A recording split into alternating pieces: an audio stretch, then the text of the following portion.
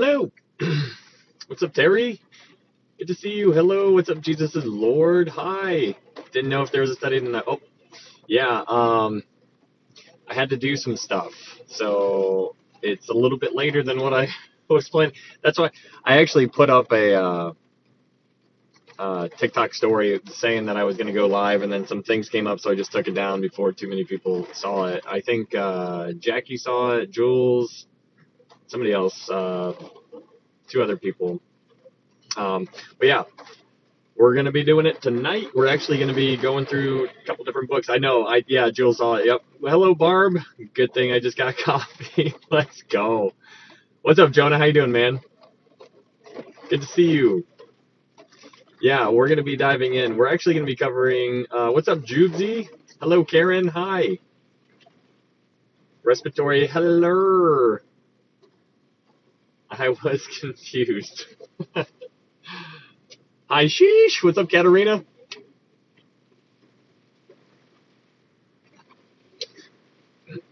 Are you in your car? You know it. I get to be loud and animated and scream without waking anybody up. So yes, I am. I'm so happy you're here. Thanks. I'm happy you're here. I I I uh, I like I, I really appreciate you guys showing up. It's funny because I still think it's still it's still pretty neat how some people take a nap when we when they know that we're going to go live, and I'm just like, man, that's really neat. People take a nap in the middle of the day just to come hang out. Hey, thanks, Jonah. Thank you, sir. I appreciate that. Hello, Laura. Hi. How are you doing? Yes, I do. Yes, naps are important. Um, hello from Indiana. Hello, Soulshine. How are you? Um, it's kind of like a little mixture of rain and snow going on here. Love sitting in mine also. Yes. oh man, a little hard to pre- just preach to yourself. I can't wait for the Bible study today. All good, man.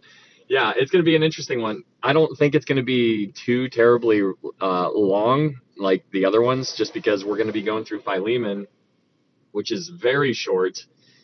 Um, but it'll be a good study nonetheless. And then we'll uh, dive over to First Corinthians chapter one, and we'll start First Corinthians chapter one. and so it's really it's really interesting because after Philemon, if if if I'm thinking correctly, we will have completed all of the Pauline epistles once we once we conclude Philemon and First and Second uh, Corinthians. So then we will move on to uh, another challenge.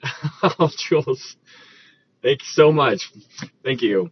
You do not have to do that, but thank you. I, I appreciate that a lot.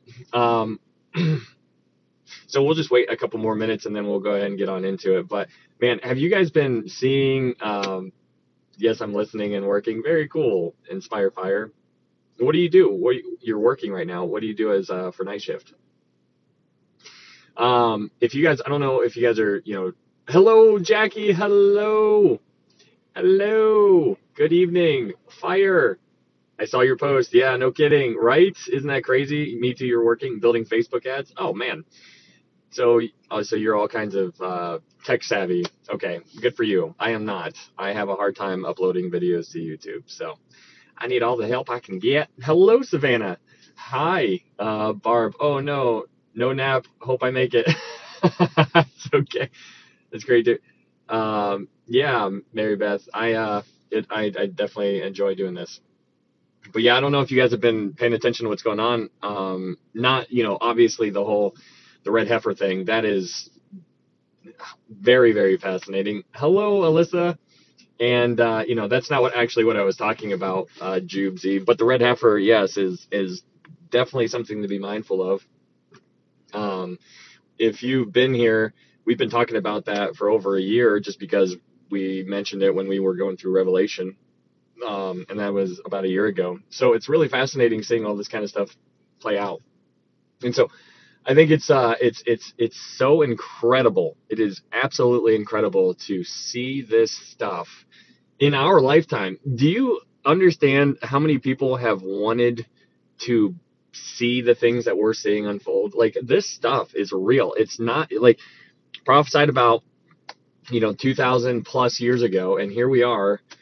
Um, we're seeing things trending that way very, very quickly. It's absolutely mind blowing. The Jewish culture has always thought that the 10th sacrifice of the red heifer would usher in the Messiah.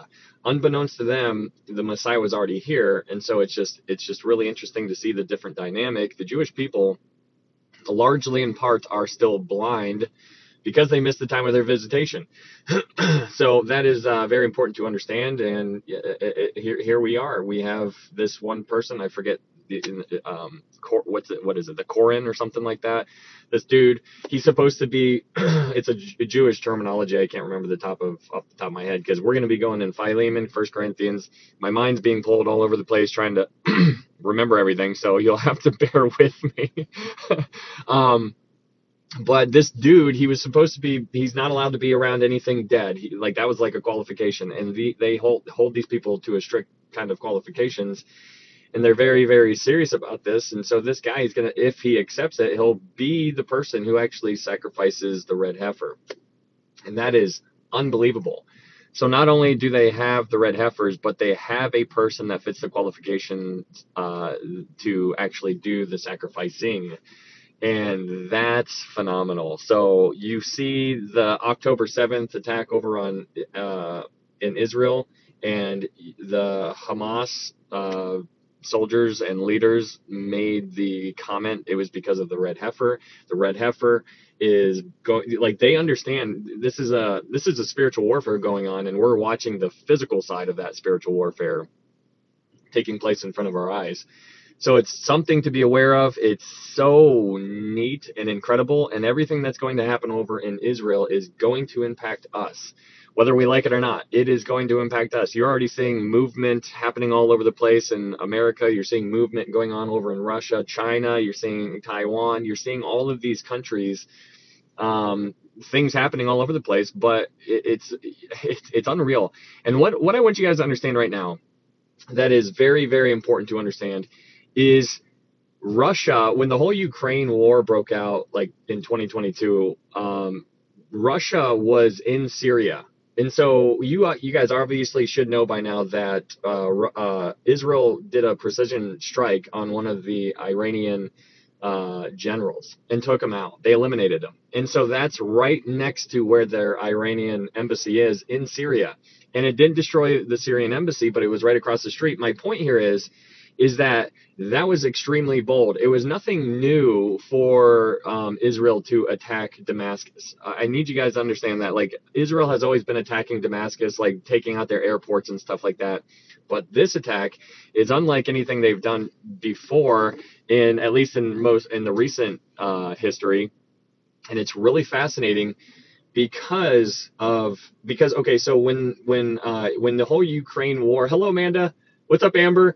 Um, when the Ukraine war uh, popped off, Russia withdrew its forces or a lot of its forces from within Syria because Russian forces were within Syria. Like they were, they had a couple outposts there. But what was interesting is that now, now you're seeing Russian forces trickle back into um, Syria, and now they're setting up more outposts there. And so there are Russian forces in Syria that are overlooking into Israel. So that's fascinating to me. So here's here's here's a thought. This is just a, something to consider. But if Israel makes another strike and they try to take out another Iranian, you know, official or whatever, it's interesting to throw the scenario around. If what if one of those strikes accidentally takes out a Russian soldier? What then? What if that happens? Because there's they're they're exchanging fire all times right? So they can't they can't they don't know who's who all the time. So if they accidentally take accidentally take out somebody that waves a russian flag how is that gonna how's that gonna play out? It's going to be this crazy experience and uh, it's going to be very very uh, dynamic i should I, I should say. So um ghana stop lying.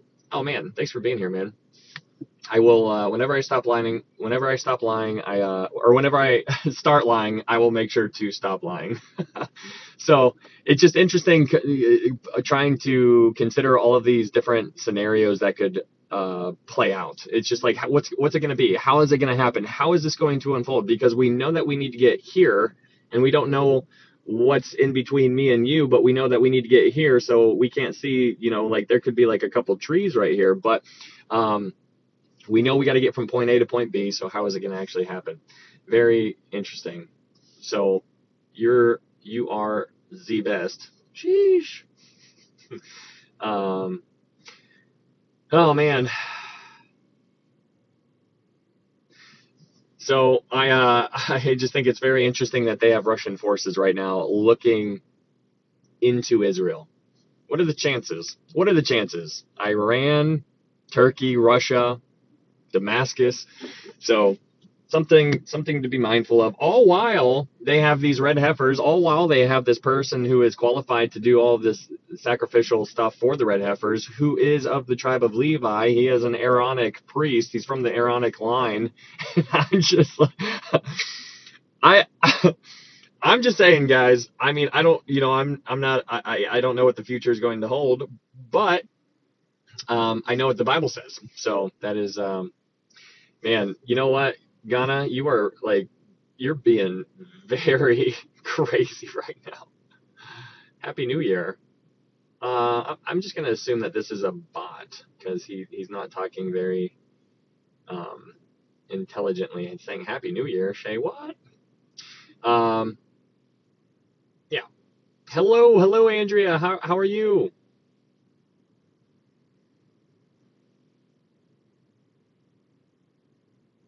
Okay, it's uh, it's honestly hard to work and do normal things if you're paying attention. I that is very relatable right there. Excuse me, sir. Where are the stories that? don't? Um, I, I I wasn't sure what time I was going to be able to go live. I actually did have a story and then I took it down because I wasn't sure if I if what time and I didn't want to make people wonder. So I figured if they can make it just by random chance, then cool. And if not, then okay, we're gonna go anyways. Back at ya. Wowie, wow. yes, yes. Hello, Donna. Um, okay, so we what in the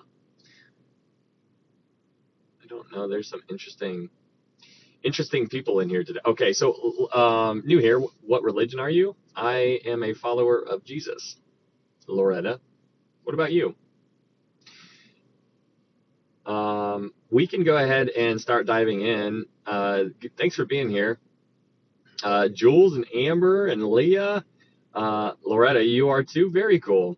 Um, so we're gonna go ahead and we can go ahead and get started. But I just if you guys didn't see that whole red heifer thing, you know, it's it's pretty much all over the place now. But if, in case you missed it, there is I there's a screenshot of what the uh, Temple Institute posted on their Facebook. If you're interested, that's that's in my TikTok profile. You can go read the entire thing. Very very fascinating. Ignore the negative. Yes, I will. Um, I'm pretty good at that. So it just kind of um, rolls right off me. Grateful for this study tonight. Yeah. Well, don't say that yet because we haven't done it. hey, JT. Thanks, man. Uh, thank you so much for that. Thank you. Uh, do you talk much in here, JT? I don't feel like you you speak very often, which you should because it's nice to get to, to know people. Good, keep doing this. I will. Just started watching and, and listening. Can't sleep. Okay, Skinner. Well, you can hang out, and I'll probably put you to sleep. No problem.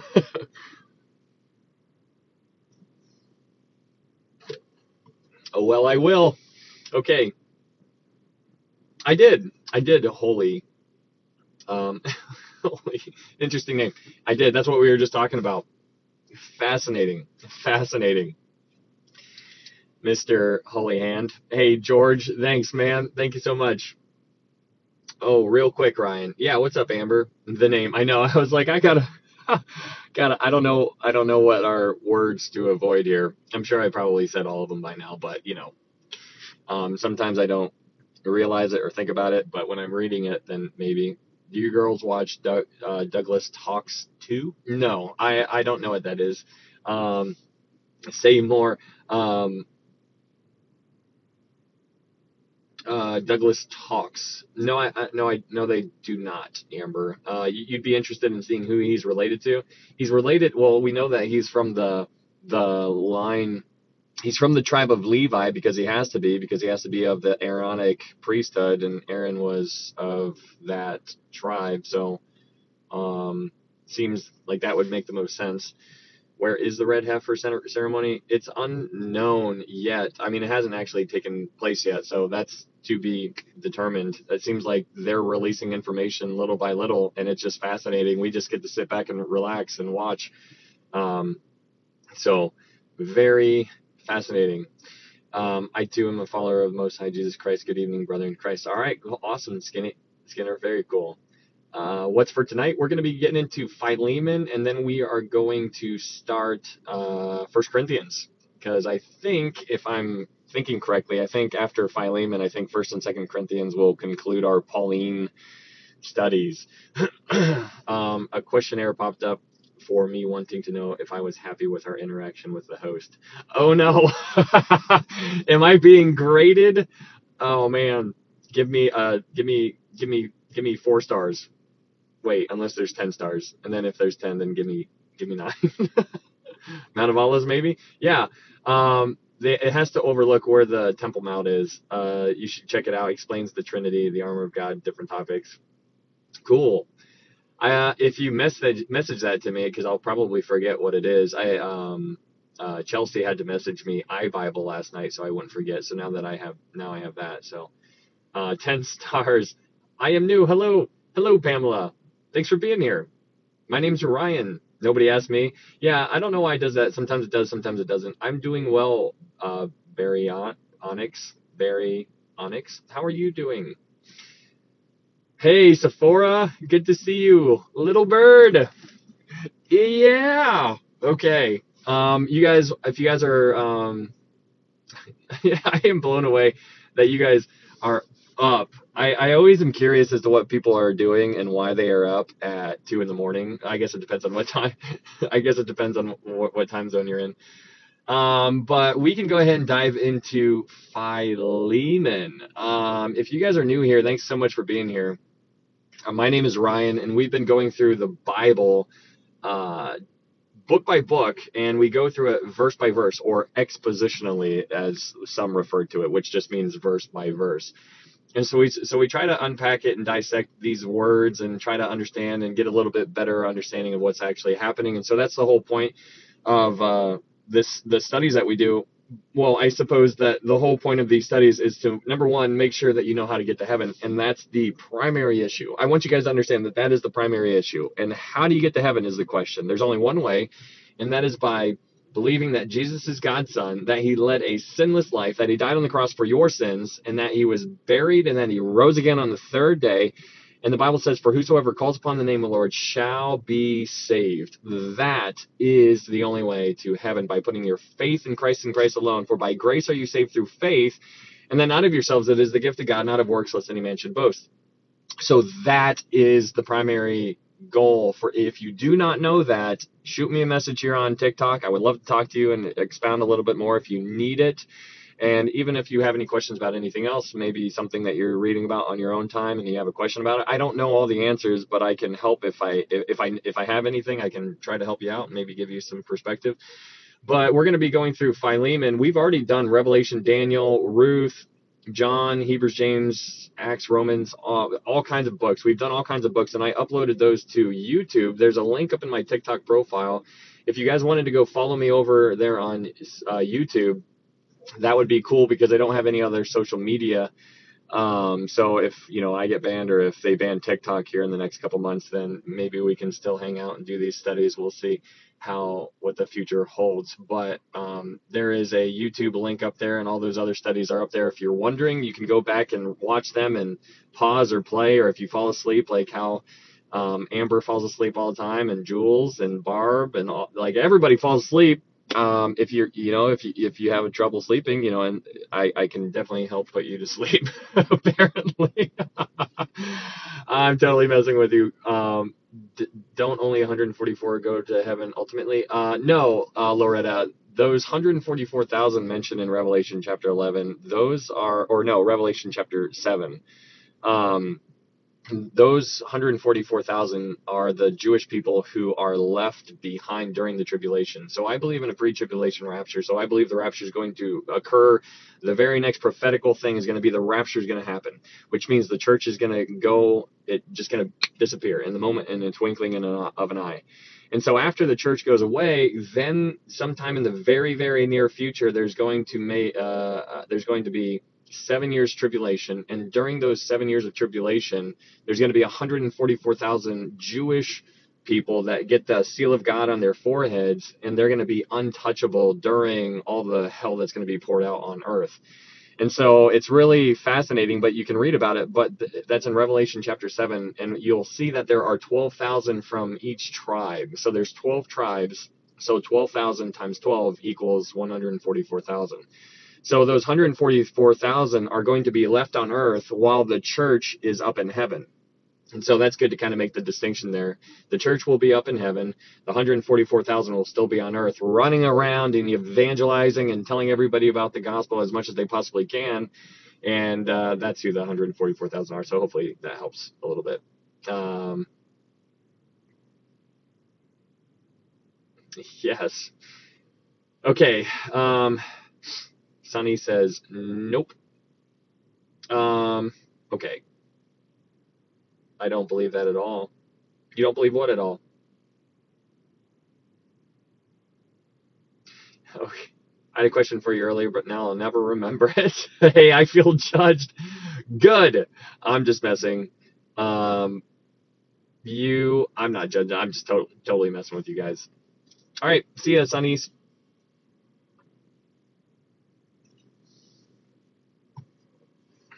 Okay, so I can go to heaven? Yeah, I mean, that's the most important thing, Loretta. How to know for sure you can get to heaven. It's not of works. We know that. Ephesians 2 8 9. John 3 16. For God so loved the world that he gave his only begotten Son, that whosoever believes in him shall not perish, but have everlasting life. That's it. It is a free gift, and it's important to really, really understand and know and believe that is what we need to put our faith in Christ and Christ alone. So, um, if you have any, Loretta, if you have any questions, feel free to message me. I would, I would love to talk to you about it if, if, if, uh, if you would like to. Uh, but let's go ahead and get on into uh, Philemon.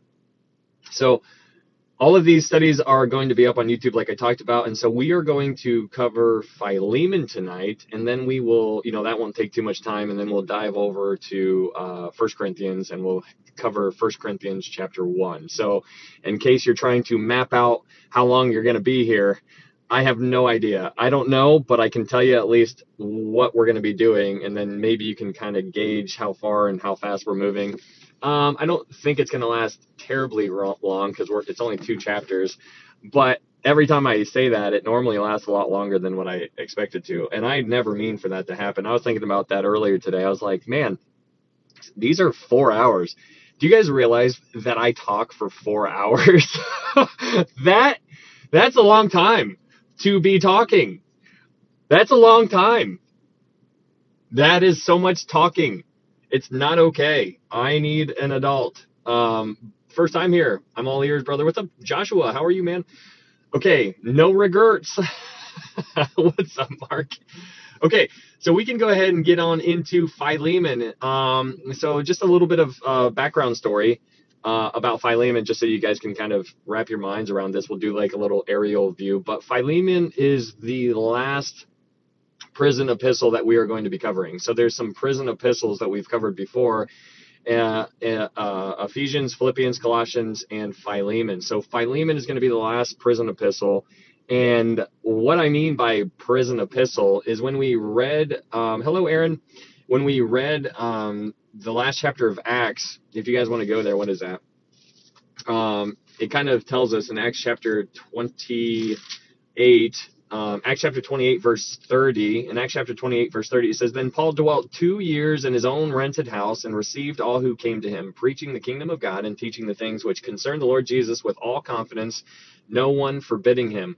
So this is where Paul is locked up. It's kind of like a house arrest type of thing. It wasn't like during this time when he was in on house arrest. Like I wanted like like picture like uh like like he's in a home. He's not in a dungeon like how he was when he was writing to Timothy, but Paul was uh, thrown in prison multiple times, but the prison epistles, um, he was inside a home, and this is when he ends up actually writing to Philemon.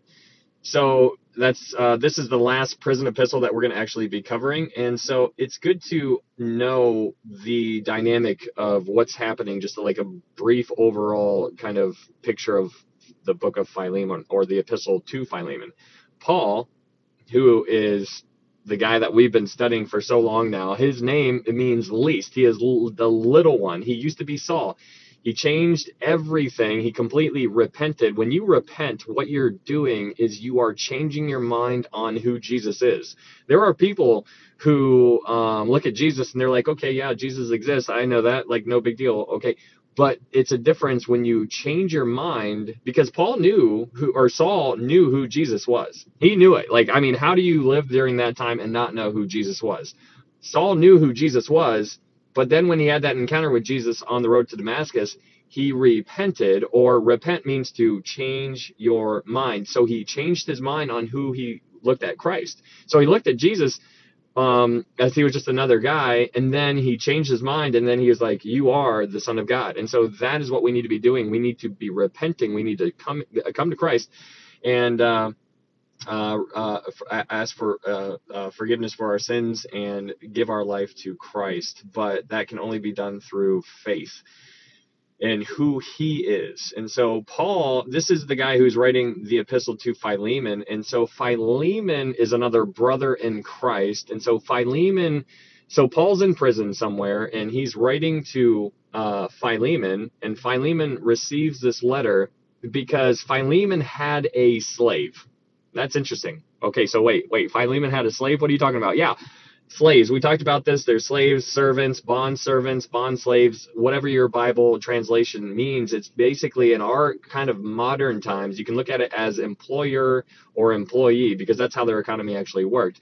In the Roman Empire, there was like a hundred million, around around a hundred million people within the Roman Empire, and so there were 50 to 60 million slaves or servants out of those 100 uh, 100 million people so that's that's crazy so it was is a very very common thing but it was just a part of their economy and so this guy philemon who is a brother in christ receives a letter from paul and the backstory is that there's this one guy named Onesimus. Onesimus was a runaway slave who apparently stole some stuff from Philemon.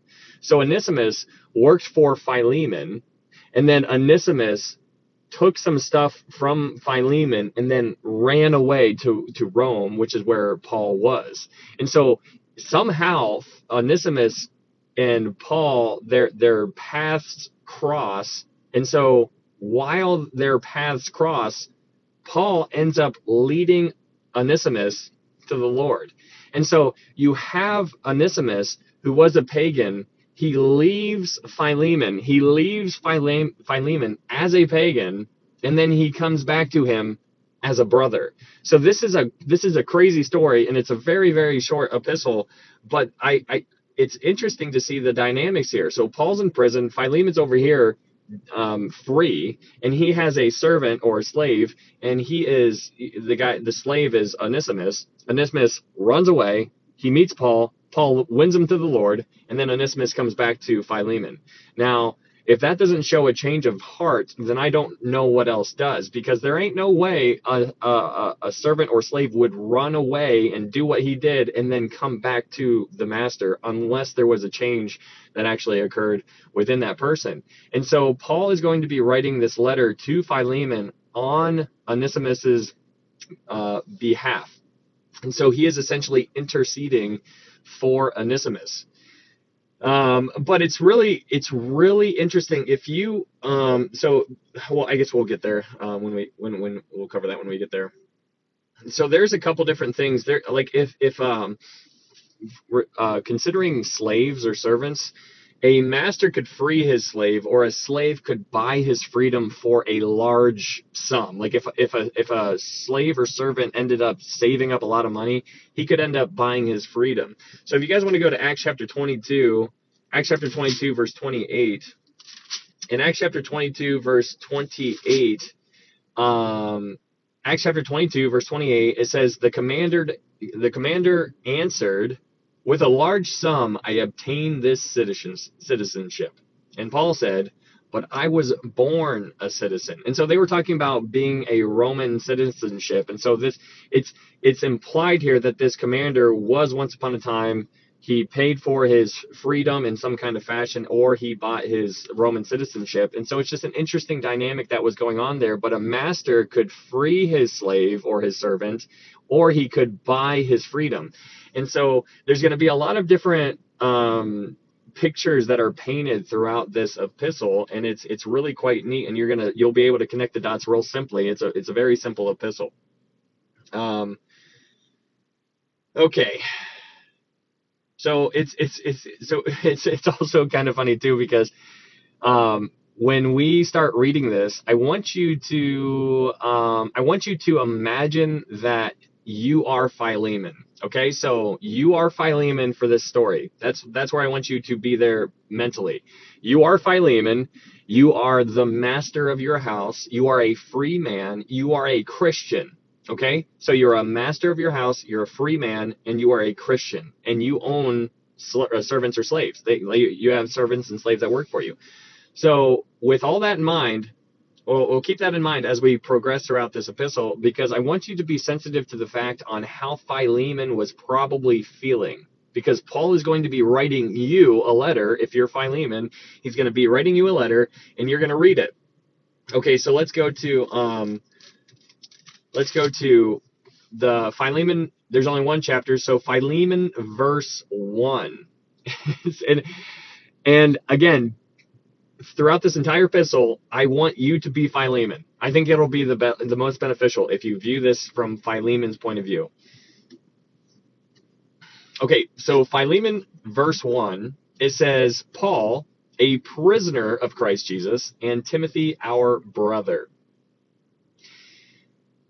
Okay, so again, Paul, his name is Paul. His name means little one or least. So Paul, the least, and he refers to himself a prisoner of Christ Jesus. so he's referring to himself as a prisoner of Christ Jesus. This is interesting. And again, I like just be mindful. You are Philemon and you're dealing with this letter and you know what it's going to be talking about already because we just talked about it, but it's clearly going to be about this person who was a runaway slave. And so now you have Paul, the dude, like if you're Philemon, you're down here, you're looking up at Paul like he's like the elder, right? Like he's the adult in the room, and he's writing to you, and he says, and he starts out his letter by saying, Paul, a prisoner of Christ Jesus. You can already hear some of the, like how he's going to be directing this letter because he's already connecting who he is with Onesimus. He's relating to Onesimus. He's like, I'm a prisoner of Christ Jesus Onesimus is a slave or servant of you. There's that connection there. He's he's drawing a line between, or he's connecting to him himself and Onesimus. So he's right off right in the first verse. He's soliciting Philemon's sympathy by referring himself as a prisoner because he's contract, uh, contrast, contrasting himself with Onesimus. So in verse 1, it says, Paul, a prisoner of Christ Jesus, and Timothy, our brother. Now, brother is going to be um, um, it in verse uh, if you go over to verse 16 well i guess i guess we uh, so okay so he in verse 1 where it says timothy our brother he says timothy our brother because timothy timothy is a brother in christ. Now why is that important? Because a, the theme throughout this epistle is Paul is going to be drawing connections to brothers in Christ. It's brothers in Christ. It's like, hey, um, Onesimus was a pagan, then he came to Christ. He is now a brother. He once upon a time was a pagan, but now he's a brother. And so he starts it off. He comes out the door swinging when you look at just verse one, because he's already connecting himself to Onesimus, um, um Onesimus but now he's saying Timothy, and he refers to Timothy as our brother. So he's already laying the foundation for Philemon to make his own connect uh, conclusions as to how he should look at uh, Onesimus. Hopefully that makes sense. I don't know if.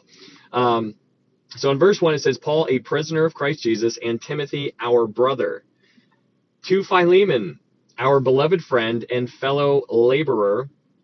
Um, so uh, in verse 2, it says, To the beloved Apphia, Archippus, our fellow soldier, and to the church in your house. So in verse 2, this is his whole introduction for this epistle. He is telling everybody who this letter is to. So in verse 1, he's saying to Philemon. And then in verse 2, he's saying to Apphia, to Archippus, our fellow soldier, and to the church. So this letter is to Philemon first, and then Apphia, Archippus, and the church which is in their house. And so people don't really understand or don't really know for sure uh, who Apphia or Archippus is, but it's believed that Apphia and Archippus is Apphia is his wife, Philemon's wife, and Archippus uh, is probably his son. So that's kind of like where most people land on as far as who these two individuals are. But um, I want to rewind and go back to verse one because it says to Philemon, our beloved friend and fellow laborer. That again, these words that Paul is using he, he, these are this is wordplay. He is getting Philemon, and he is he's working Philemon to come to his own conclusion. And by the time we're done with this epistle, you'll be able to see everything, and it's very fascinating. It's rather quite amusing to me, at least, how he operates here. But it says in verse two, "To beloved Apphia and Archippus, our fellow soldier, and to the church in your house." Now, in your house. Now, it's interesting that Paul uh, he, addresses this letter to Philemon, Apphia, Archippus, and the church within his house.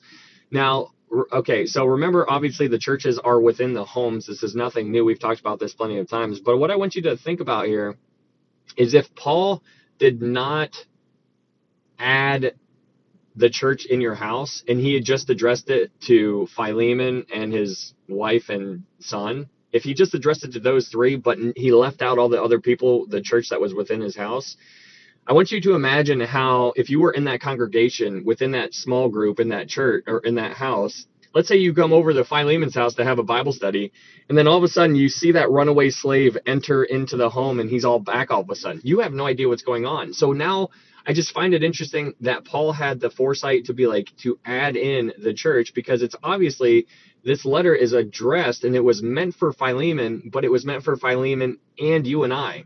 And that's going to be evident when we get to the end of this epistle as well. But it starts off by um, saying the church in your house.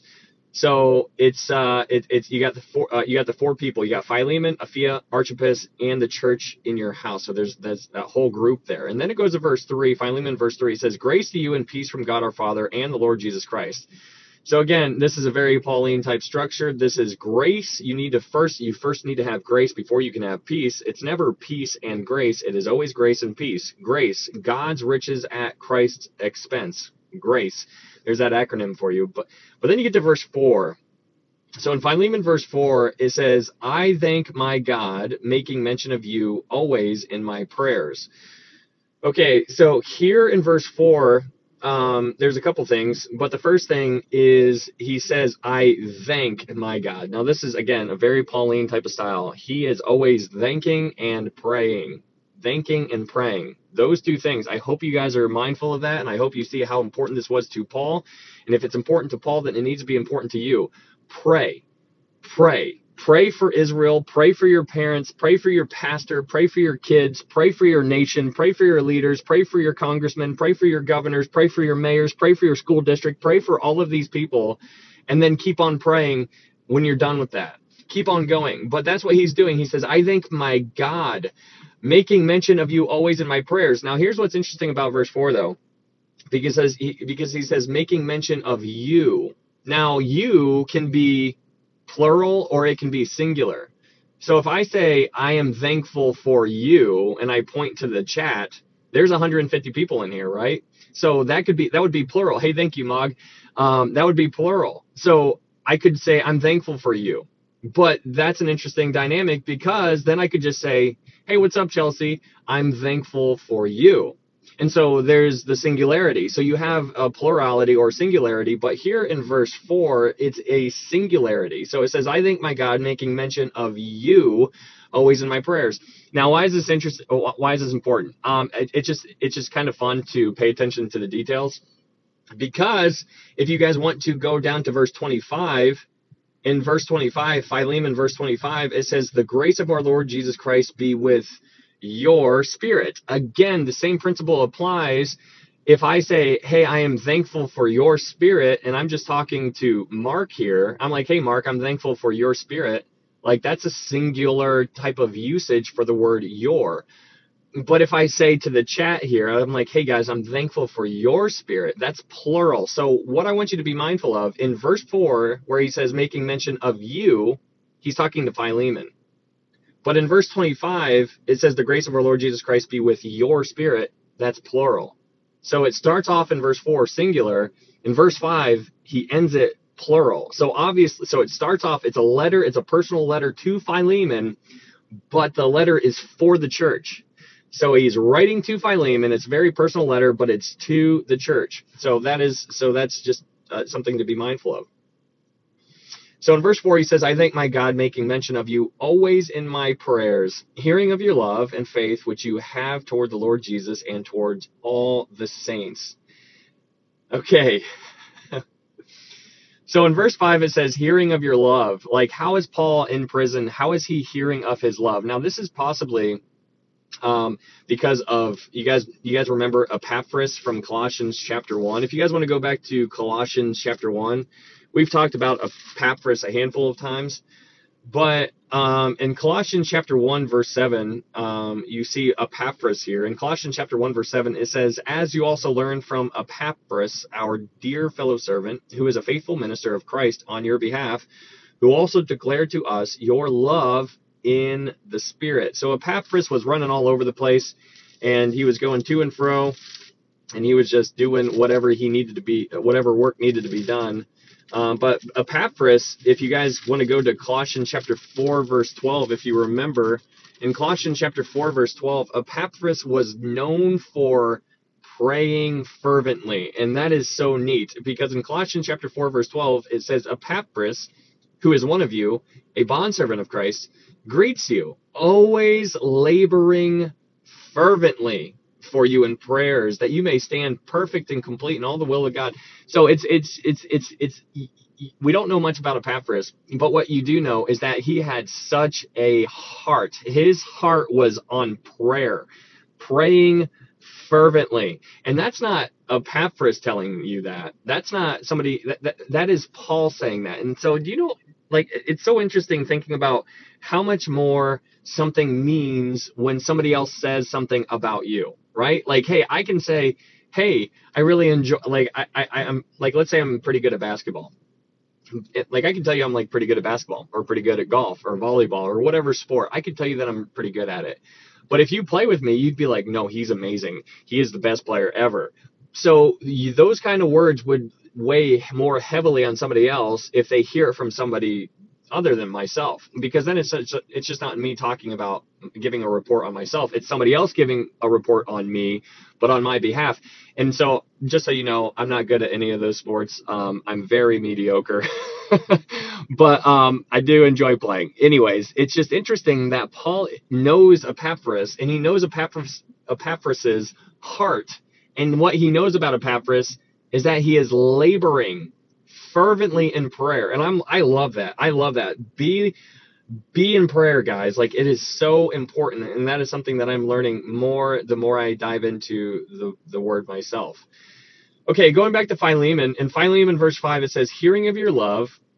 Which love there, love is agape. So hearing of your agape, it's not phileo, it is agape. Hearing of your love and faith which you have toward the Lord Jesus and toward all the saints. Okay, so hopefully you can start um, putting some of these, you know, con- connecting some of these dots. Um, because if you remember the background, Onesimus was a runaway slave.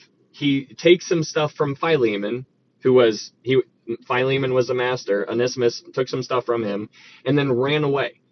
And so he runs away. He goes to Paul. He somehow stumbles upon Paul, and then Paul wins him for the Lord. So he leaves uh, Philemon as a pagan. He goes to Paul. He becomes a Christian, and then Paul sends him back to Philemon. And so what's interesting about that is that now Onesimus is coming back to Philemon as a Christian, as a brother. And so Philemon is a, a, a Christian, and Onesimus is now a Christian. And why am I making light? Why am why am I talking about this? Because in verse five, I want you to pay attention to how funny Paul is. Paul is he is building his argument. It's kind of like you know how you butter somebody up and you like talk about how wonderful they are before you ask them the tough question or you tell them the hard news. You're like, "You're so wonderful and I just love how everything you're just so cool." Do you mind if I borrow your car? You know, like that's type of what that's what he's doing here. Okay, verse 5 it says, "Hearing of your love and faith which you have toward the Lord Jesus and toward all the saints." All the saints now is referring to Onesimus.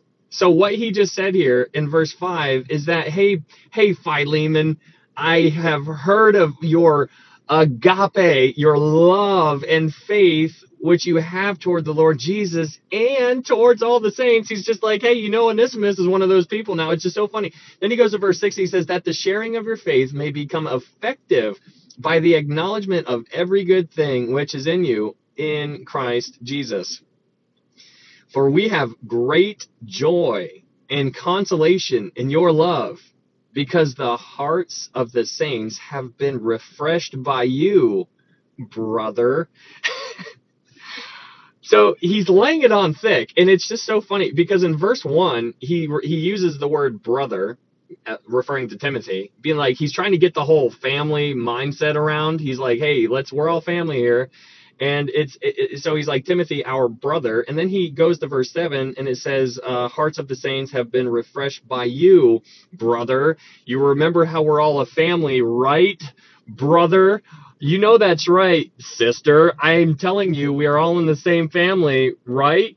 brother and so paul is just just laying it on thick it is so funny so he is really tugging on the heartstrings of philemon here so this is so Paul is just just like lathering all, him all up right now. And uh, just imagine being philemon because you you're philemon. I told you guys imagine you're philemon. You're in your home which is where the church is. And then you know like let's imagine that there's like 10 to 15 people in, in, in inside that home church. And the the letter is addressed to philemon apphia archippus and to all the church within his home. So he's reading it. It's to him, it's to you, but you're reading it to everybody. And so you're the master of the house. You're you're Philemon. You're reading it and you're just like, oh man, like what what and so so just keep keep that perspective. Okay, so then we get to verse 8. It says in verse 8, therefore, therefore, though I might be very bold in Christ to command you what is fitting, Yet for love's sake, I rather appeal to you, being such a one as Paul, the aged, and now also a prisoner of Jesus Christ. Okay, here in verse 8, he's saying, what he's saying here, he's like, I could command you to do something here. I could command somebody, I could command you to do this, what is right. But he's like, I'm not going to do that.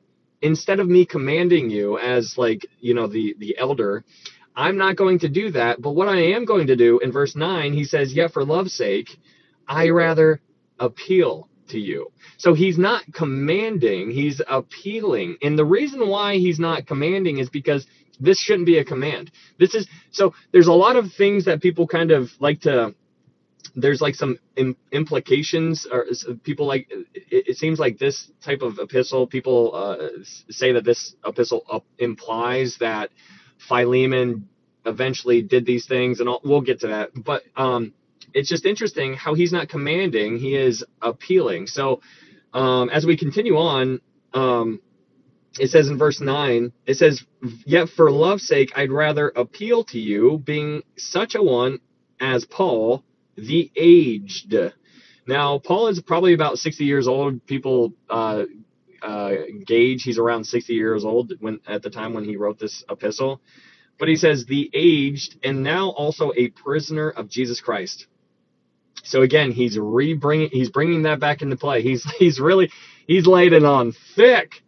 Um, but then he goes to verse 10, and in verse 10 he says, "I appeal to you for my son Onesimus, whom I have begotten while in my chains."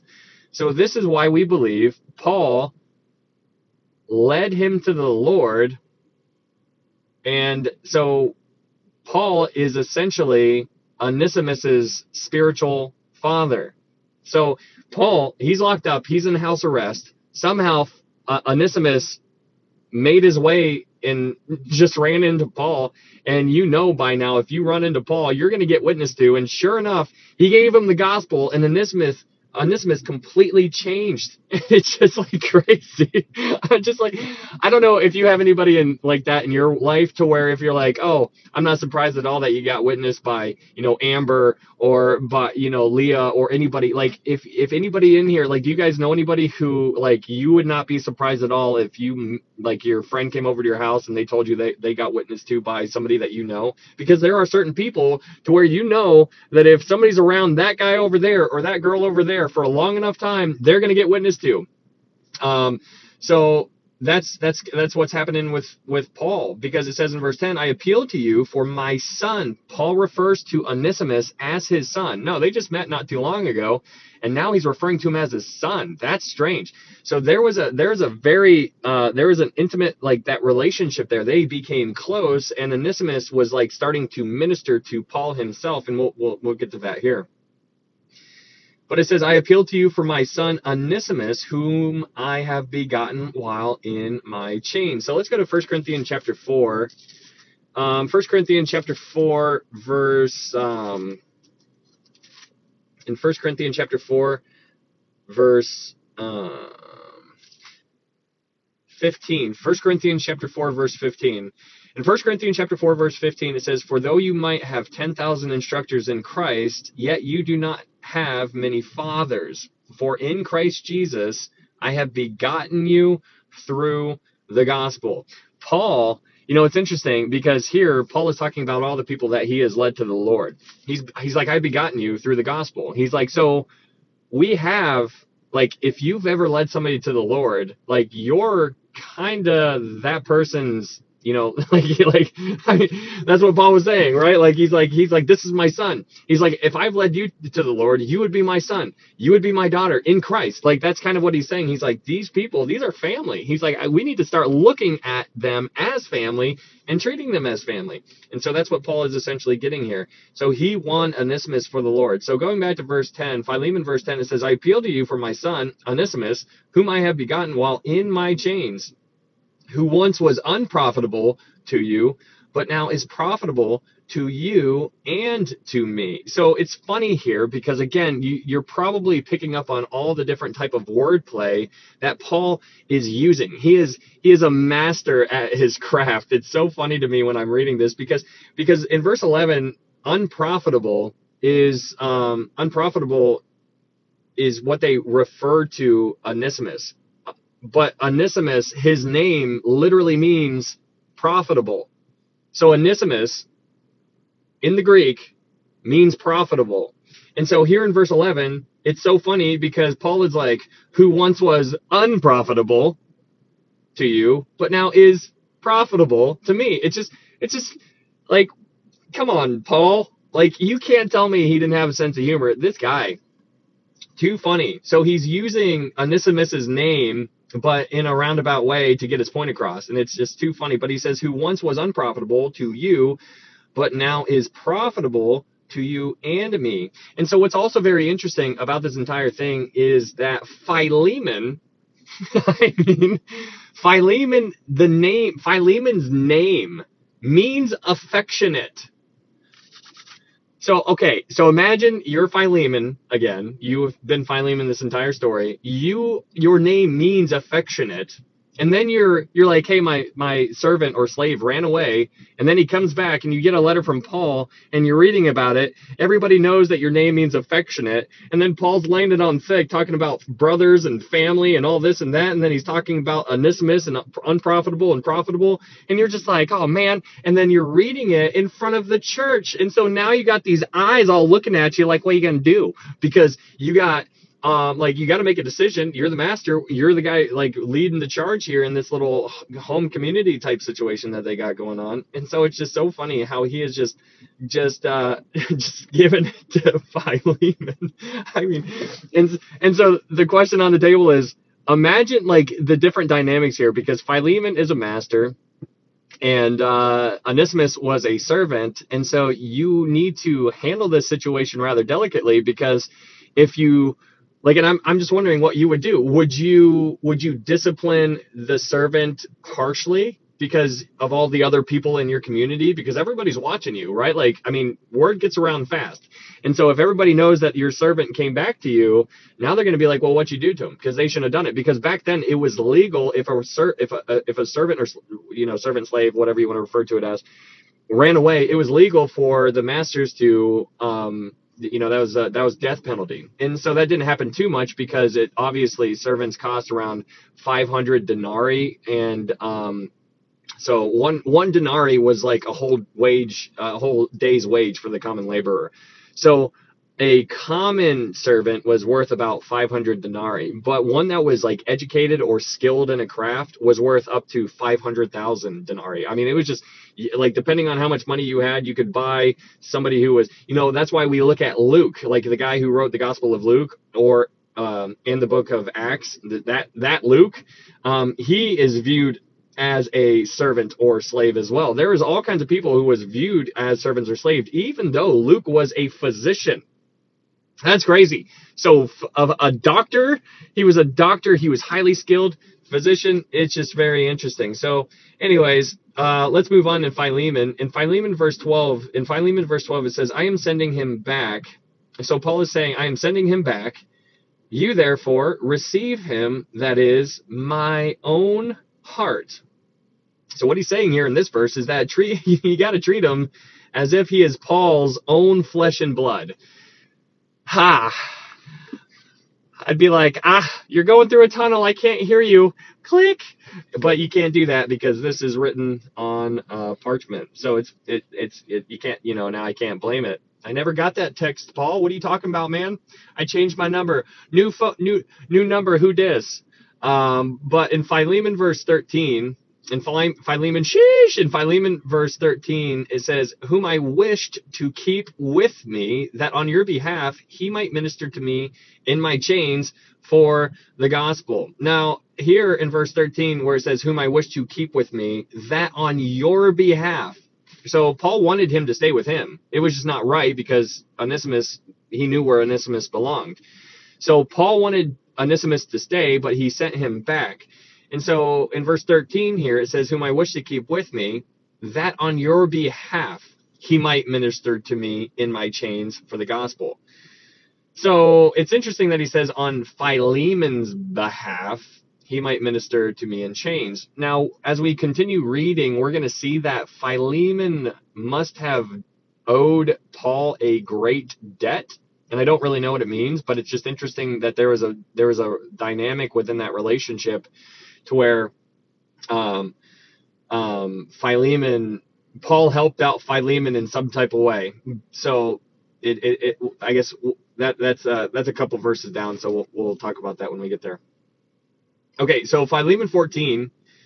In Philemon verse 14, it says, uh, uh, it says, but without your consent, I wanted to do nothing, that your good deed might not be compulsion, as it were, but voluntary. So he's so he doesn't want he doesn't he, he's going back to what he was talking about before. He doesn't want to command Philemon to do something in regards to Onesimus. He wants it to be a voluntary action. So that's kind of what he's reiterating here in verse uh, 14. But what's interesting, just the whole the whole dynamic, the whole situation that we're talking about here, Onesimus still owed a debt. He still owed a debt to the law and to his master because he broke the law and he uh, he, he he he did his master wrong. So he broke the law and he did something wrong to his master, but spiritually he was in good standing with God. Now that's interesting because there's a lot of people in the world who do a lot of bad things who go to prison for example. Like in our in our 2024 people in prison did a lot of bad stuff. Now they need to still answer for those things that they did according to you know the law of the land and you know the the court systems and whatnot. So but according to men they can be condemned to a certain extent right? And it's interesting to see that those people not all of them but some of them come to christ. And so in so you have you're you're standing before men here and you're condemned but you're standing before christ here and you're standing up like up up straight. And so that's kind of like the dynamic that's going on between onesimus because he did he broke the law he did what he, he wronged his master and he should be condemned. But in christ he is a new creation. And it's just an it's just an interesting you have like there's a there's a duality going on behind the scenes here uh, between physical and spiritual but it's also it's also it's also interesting on that note because um, there's a new there's a new he's a new creation right? And so since he just became a christian his race you know the race that we always talk about his race just begun. And so you have this newborn baby christian who do, who didn't know better. He was a pagan when he left philemon he runs away he runs into paul and if you run into Paul, you're going to get witnessed to. And then he got witnessed to and he accepted Christ. And so he's born again. And so you have this servant who doesn't know anything. And Paul was just trying to give him as much as he possibly could within that short amount of time. And then he sends him on back. And then he goes back to Philemon.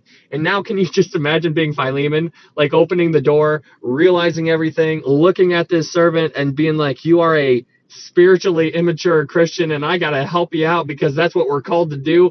You're just got this whole you're like, "Ah!" And so that's that's kind of like what's that's kind of what's happening here. So in verse 15, Philemon verse 15, it says, "For perhaps he departed for a while for this purpose, that you might receive him forever." So you know there's you know there's there's a reason for everything right? Like what's going on? There's a reason for this there's a reason for this. Hey if you lost your job or if you didn't get that job maybe it's because there's going to be something that opens up down the road for you to have an opportunity to witness to people down the road right? And so that's kind of the idea of what's going on here. But in verse 15 it says for beha- for perhaps he departed for a while for this purpose that you might receive him forever.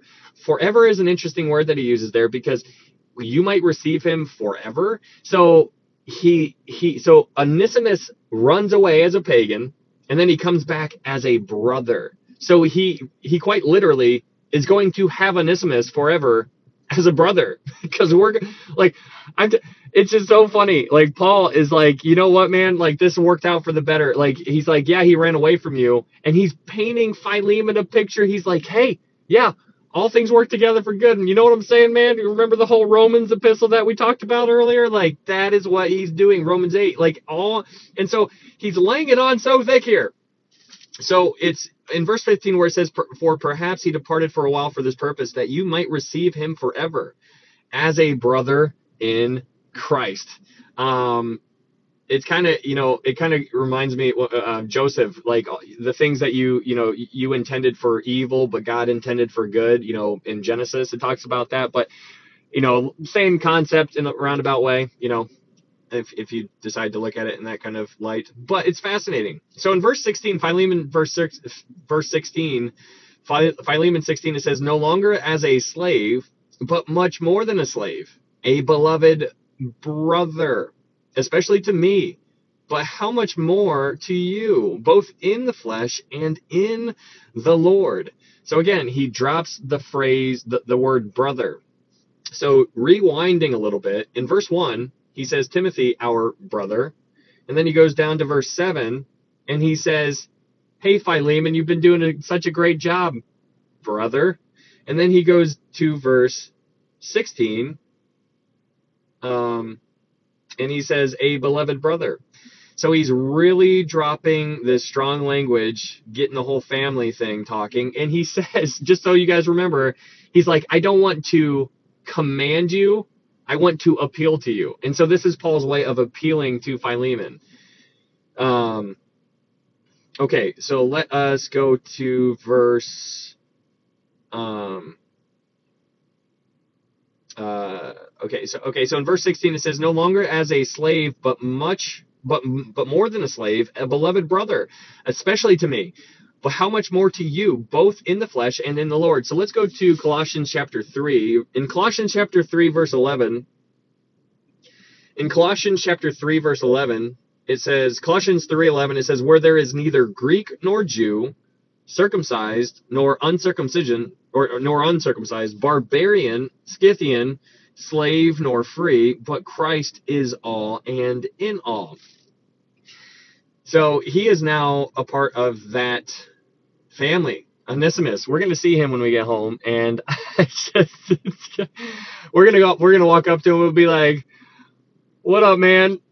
We were reading about you the other day, and I already know all about you. But what I don't know is this, this, and this, and like, how was it? Like, what? How much money did you take? What, what's going on? So it's it's fascinating seeing all that type of stuff. So let's go to um, Oh man, oh gosh. Reckless. Explain the contradiction of Ahaziah and age difference. Um, you know, it's so, it's so funny to me. People want to look so hard to find a contradiction, and they don't spend any time trying to uh, uh, find the reason for themselves because the answer is out there. They just they just don't want to look for that. They're just looking for the. They only find what they want to see.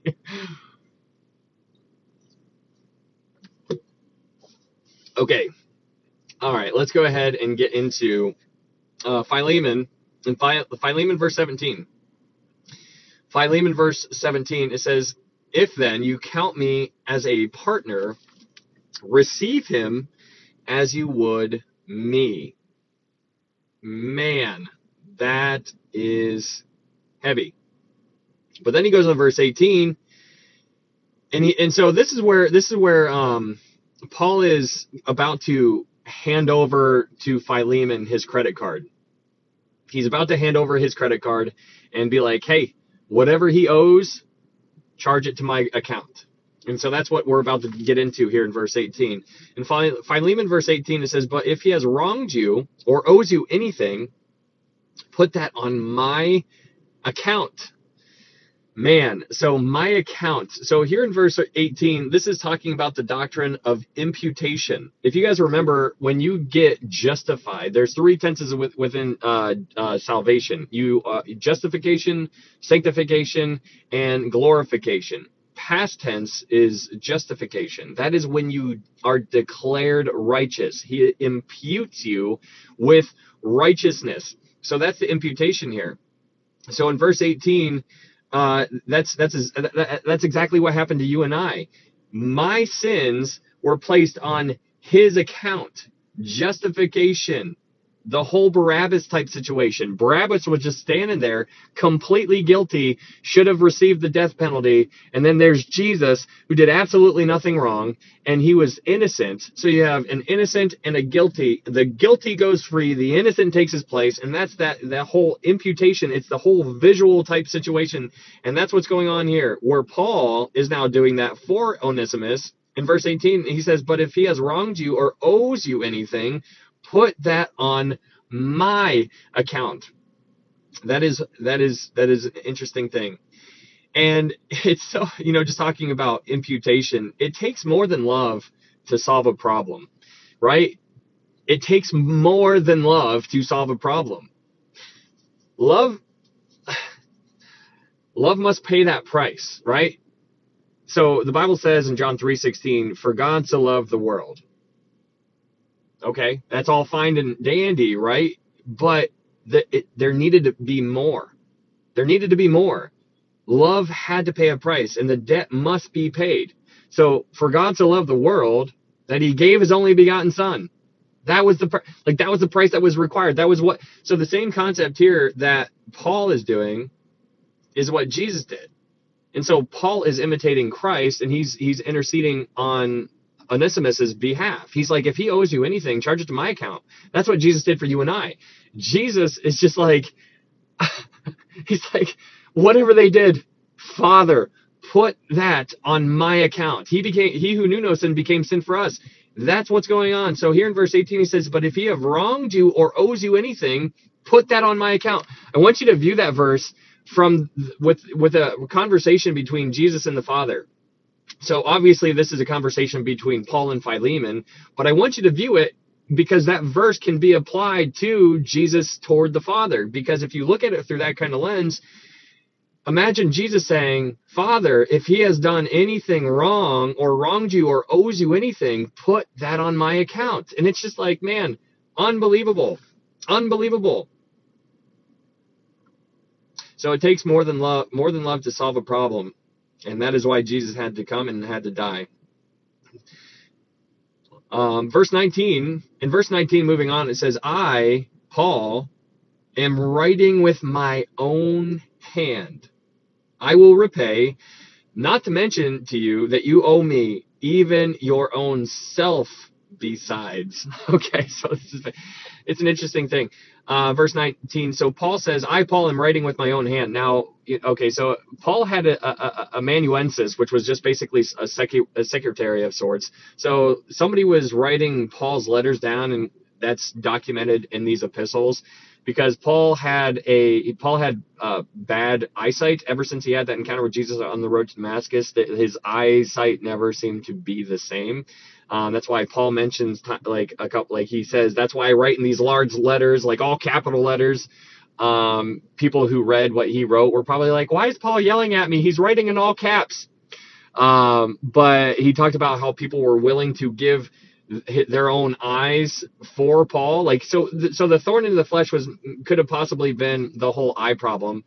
Um, but here in verse 19, Philemon, verse 19, it says, I, Paul, am writing with my own hand. So you have this visual here where the, the secretary, whoever it might have been, is writing everything Paul is saying down. And then Paul reaches over and he takes it. And then he takes, so Paul takes the quill and then starts writing it down with his own hand, almost as like a, like a, like a, um, like it's it's it's it's binding. It's it's official. It, it is he's binding himself. He's like i'm signing it. You know how you like sign on the dotted line? He's like this is me. And so paul take you have this visual where paul takes it and starts writing. He's like this is my guarantee that i will repay. And so he's he's writing on the dotted line in a sense. So in verse 19 it says i paul am writing with my own hand. I will repay not to mention to you that you owe me even your own self besides. That's fascinating. I don't know why. Maybe this is because Paul won Philemon to the Lord. If Paul won Philemon to the Lord, then um, that could possibly be what he's referring to. Be like, hey, listen, Philemon, don't you forget where you came from, and such were some of you, buddy. he's like, when you don't know, you don't know any better. You know, that's why it's so interesting how we look around the world. There's people who are in sin and they're just doing, like, if they're lost, hmm. they're only doing what lost people know how to do. And so we need to, we need to look at them with those types of eyes because if you're a one year old you're only going to do what a one year old knows how to do. Thanks judy. You if you're if you're two years old or if you're completely lost you're going to do what lost people do and that means you're going to be jumping in the mud puddles and you're going to like have fun and get it all over your, in your hair and you're going to get a mess in your face and you're going to you're going to walk into your house and mud all over the place and that's what they do because they don't know any better. And so it's important for you and I to remember where we've came from. And so that's kind of what Paul seems to be alluding to here because he's like, hey, Philemon, he's like, remember how much you owe me. He's like, I'm not even going to bring it up, but I'm kind of going to bring it up a little bit here. So he's like, don't worry about it. Remember that thing that I did for you? Don't, I'm not going to bring it up, but I'm kind of bringing it up right now. It's kind of like what he's doing here in verse 19. All right. So in verse 20, it says, Yes, brother, let me have joy from you in the Lord refresh my heart in the Lord. And so this verse is um this tapped into the next life.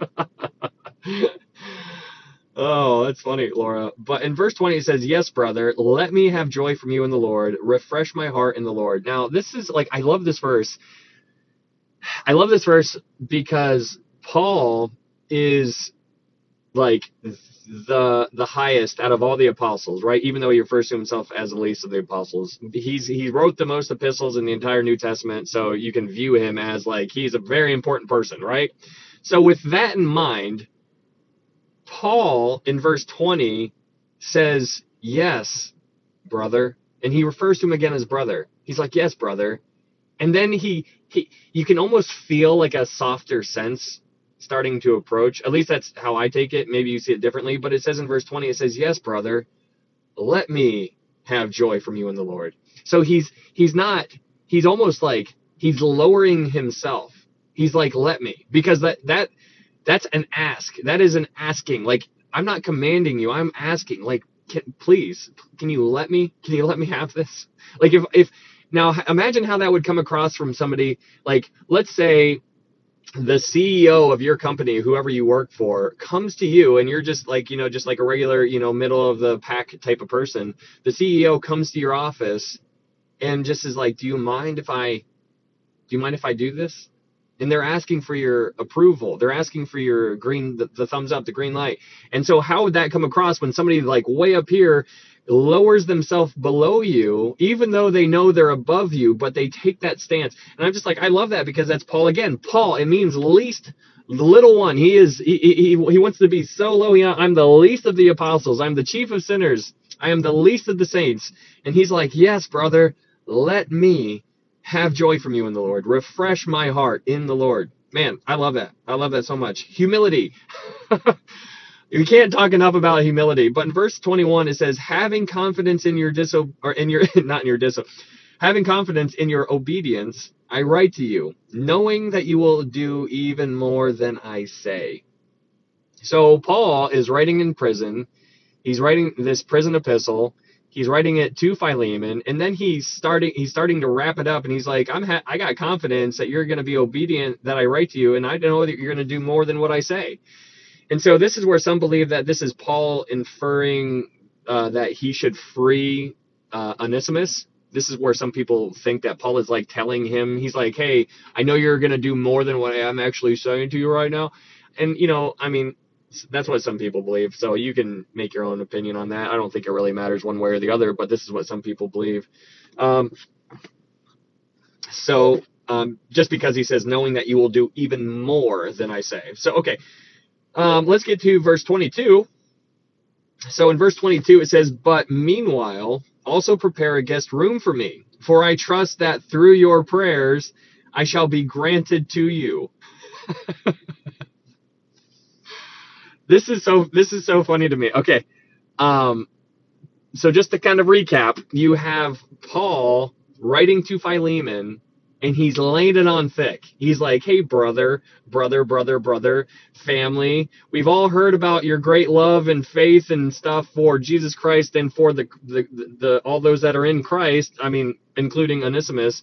And he's like, "Brother, brother, brother." And then he says, "I'm not commanding, I'm appealing." And then he lowers himself here. I don't want it to be compulsory, uh, like a compulsion. I want it to be voluntary. And then he goes and in verse 20 says, "Yes, brother, let me." So he's like, "Please." And then here in verse 22, it just cracks me up because in Philemon verse 22, it says, But meanwhile, also prepare a guest room for me. because Paul's like, I'm going to I'm to come check on it. I'm going to see if this is actually happening. It is so funny. Um, it is so funny to see how he's like, prepare a room for me because I trust through your prayers I shall be granted to you. So it's like, so imagine again being Philemon. I, I want you to imagine you're Philemon, you're the master of your home, you're reading this letter in front of your wife and your son, and then you have your church congregation there, and you're reading it, and then you're like, oh, I guess Paul's going to come visit us because we're praying fervently for him to get out of prison so he can come visit visit us. And okay, Onesimus, I suppose, I guess, ha, I forgive you. And it's just like one of these it's a, it's just a funny thing. I, I find this very funny. I find this very funny. Um, the where it says in verse 22, where it says, "But meanwhile, also prepare a guest room for me, for I trust that through your prayers, the your there is plural. So he's again, so there's a singularity going on in verse four, and here in verse 22, it's through your prayers meaning the church is praying for Paul. Because that's what they should have that's what they should have been doing that's what they were doing. So through your plurality uh, referring to the church your prayers I shall be granted to you. So and then you get to verse 23 and you get Epaphras. Um, that's who we think is uh, Paul is hearing all of this from from Epaphras because Epaphras was all over the place. But in verse 20 Philemon 23 it says Epaphras my fellow prisoner in Christ Jesus greets you. As do Mark Aristarchus, Demas, Luke, my fellow laborers. Now, uh, Demas or Demas or however you want to say it, Demas, um, he, this guy in verse 24, Demas, we've talked about Mark before. John Mark, he was the guy hit Paul and Mark. You know, they got into this big old thing, and then Paul and Barnabas they split up because of Mark. So Barnabas and Mark went one way, and it was uh, Paul and Timothy uh, went the other way. Um, but anyways, Paul and Mark ended up getting back on good terms.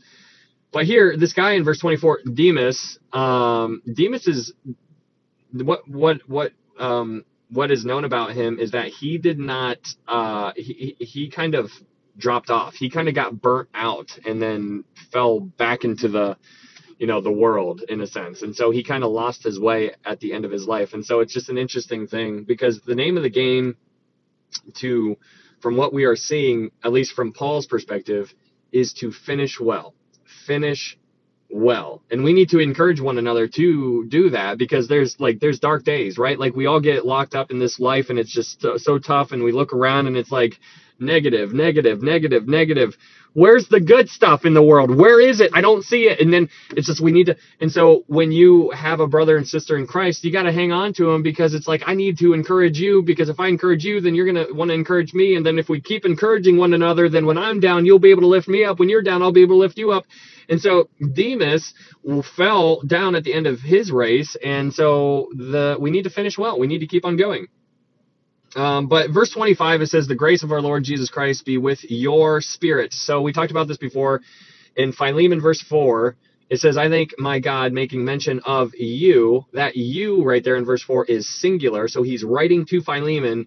But verse 25 tells us that this letter was uh, it, it was intended for all of us because he's he it's a plurality going on there and you, we would be able to re- see that or notice that if we uh, read greek or spoke greek but it says, The grace of our Lord Jesus Christ be with your spirit. Amen. Um, so this obviously we talked about this before. Paul, every time he ends his epistles, if you if you read uh, Second Thessalonians chapter three verse seventeen, um, the church in Thessalonica got a forgery, a forgery of a letter, and so they received a letter that was not from Paul, but it was as if it was from Paul. And so Paul writes them Second Thessalonians, and he's like, "Hey, if you if you ever get a letter and it doesn't have this at the end of it, it's not from me. And so Paul tells him what the, his signature is going to be, and so that's that's we're we, we're given that in Second Thessalonians chapter 3 verse 17 because in Second Thessalonians chapter 3 verse 17 it says the salutation of Paul with my own hand which is a sign in every epistle so I write the grace of our Lord Jesus Christ be with you all. Amen. So every time you see the grace of our Lord Jesus Christ be with you all, or grace incorporated in a salutation, that is that is uh, that is a very that that is uh, uh, that, that that that's Paul all day, and so that's another reason why we believe Paul wrote the book of Hebrews because it says grace be with you. Like it doesn't like he doesn't sign his name because he knew if his name was attached to the letter, then the letter then the message wouldn't be received as well. So Paul removes himself from Hebrews completely, but you still see a whole bunch of Pauline type of style writing all throughout the book of Hebrews. And so if you've been throughout all these studies with uh, like as we because we've been going through so many studies of just focusing on Paul lately, if you go reread Hebrews and you know everything that you know since we've studied everything up to this point, then you go read Hebrews again, you're going to be like that's Paul. That's Paul. That's Paul that's Paul. Like it's Paul all over the place. And so it's not that big of a deal, but it is just something to be mindful of. And it's kind of cool if you start paying attention to that type of stuff because if you start keying in on certain patterns of a person, then that means you're learning and that means you're paying attention. And so that's that's a fun thing. Okay. So that is um, that is Philemon. That is Philemon. That is uh, we did that in about an hour, so that wasn't too long, right? Um, yay! that was the shortest book we have ever done, ever. If we do Jude, it's not going to be that short. I'm just telling you right now. Um, helps me a lot. Oh, thank you, Deb. I'm glad you like the recaps. Are you talking about the recaps on TikTok? Because I stopped doing that on uh, YouTube, just because I'm like, ah, I don't know if I don't know. Um, I feel like I know Paul, Paul so well. yeah, me too. okay, so we can go ahead and let's go ahead and go over to First Corinthians because now we're going to dive into a new book. And so you'll have to excuse my brain because I was trying to figure out. I was like, man, if we, are we just going to do Philemon tonight and just have like an hour long session? I'm like, man, nobody wants to do an hour long session. Boo. Um, we want four hours. I know, guys. You just you just want so yeah. No, just just kidding. I am so blown away that you guys some like it's funny because there's people who stay here the entire time that we're live, and I think it's so neat. I'm like, man, good for you guys who want to hang out for that long because nobody would go to church. Like, would you guys actually go to church and sit in church and listen for four hours and just be like, uh huh, okay? Like, that blows my mind. That blows my mind. Um, okay, why are you not there on YouTube? I am on I am on uh, YouTube 1920. Um, I would I was um, if you guys yeah if you guys wanted to go um, check that out, there's a YouTube up in my TikTok profile. If you guys want to go follow that YouTube uh, page, you could do that because I said you know if they cancel if they ban TikTok, I don't have any other social medias. I don't got Twitter or Facebooks or anything like that. So um, YouTube is the only other thing I got, and I upload all of these TikTok lives up there.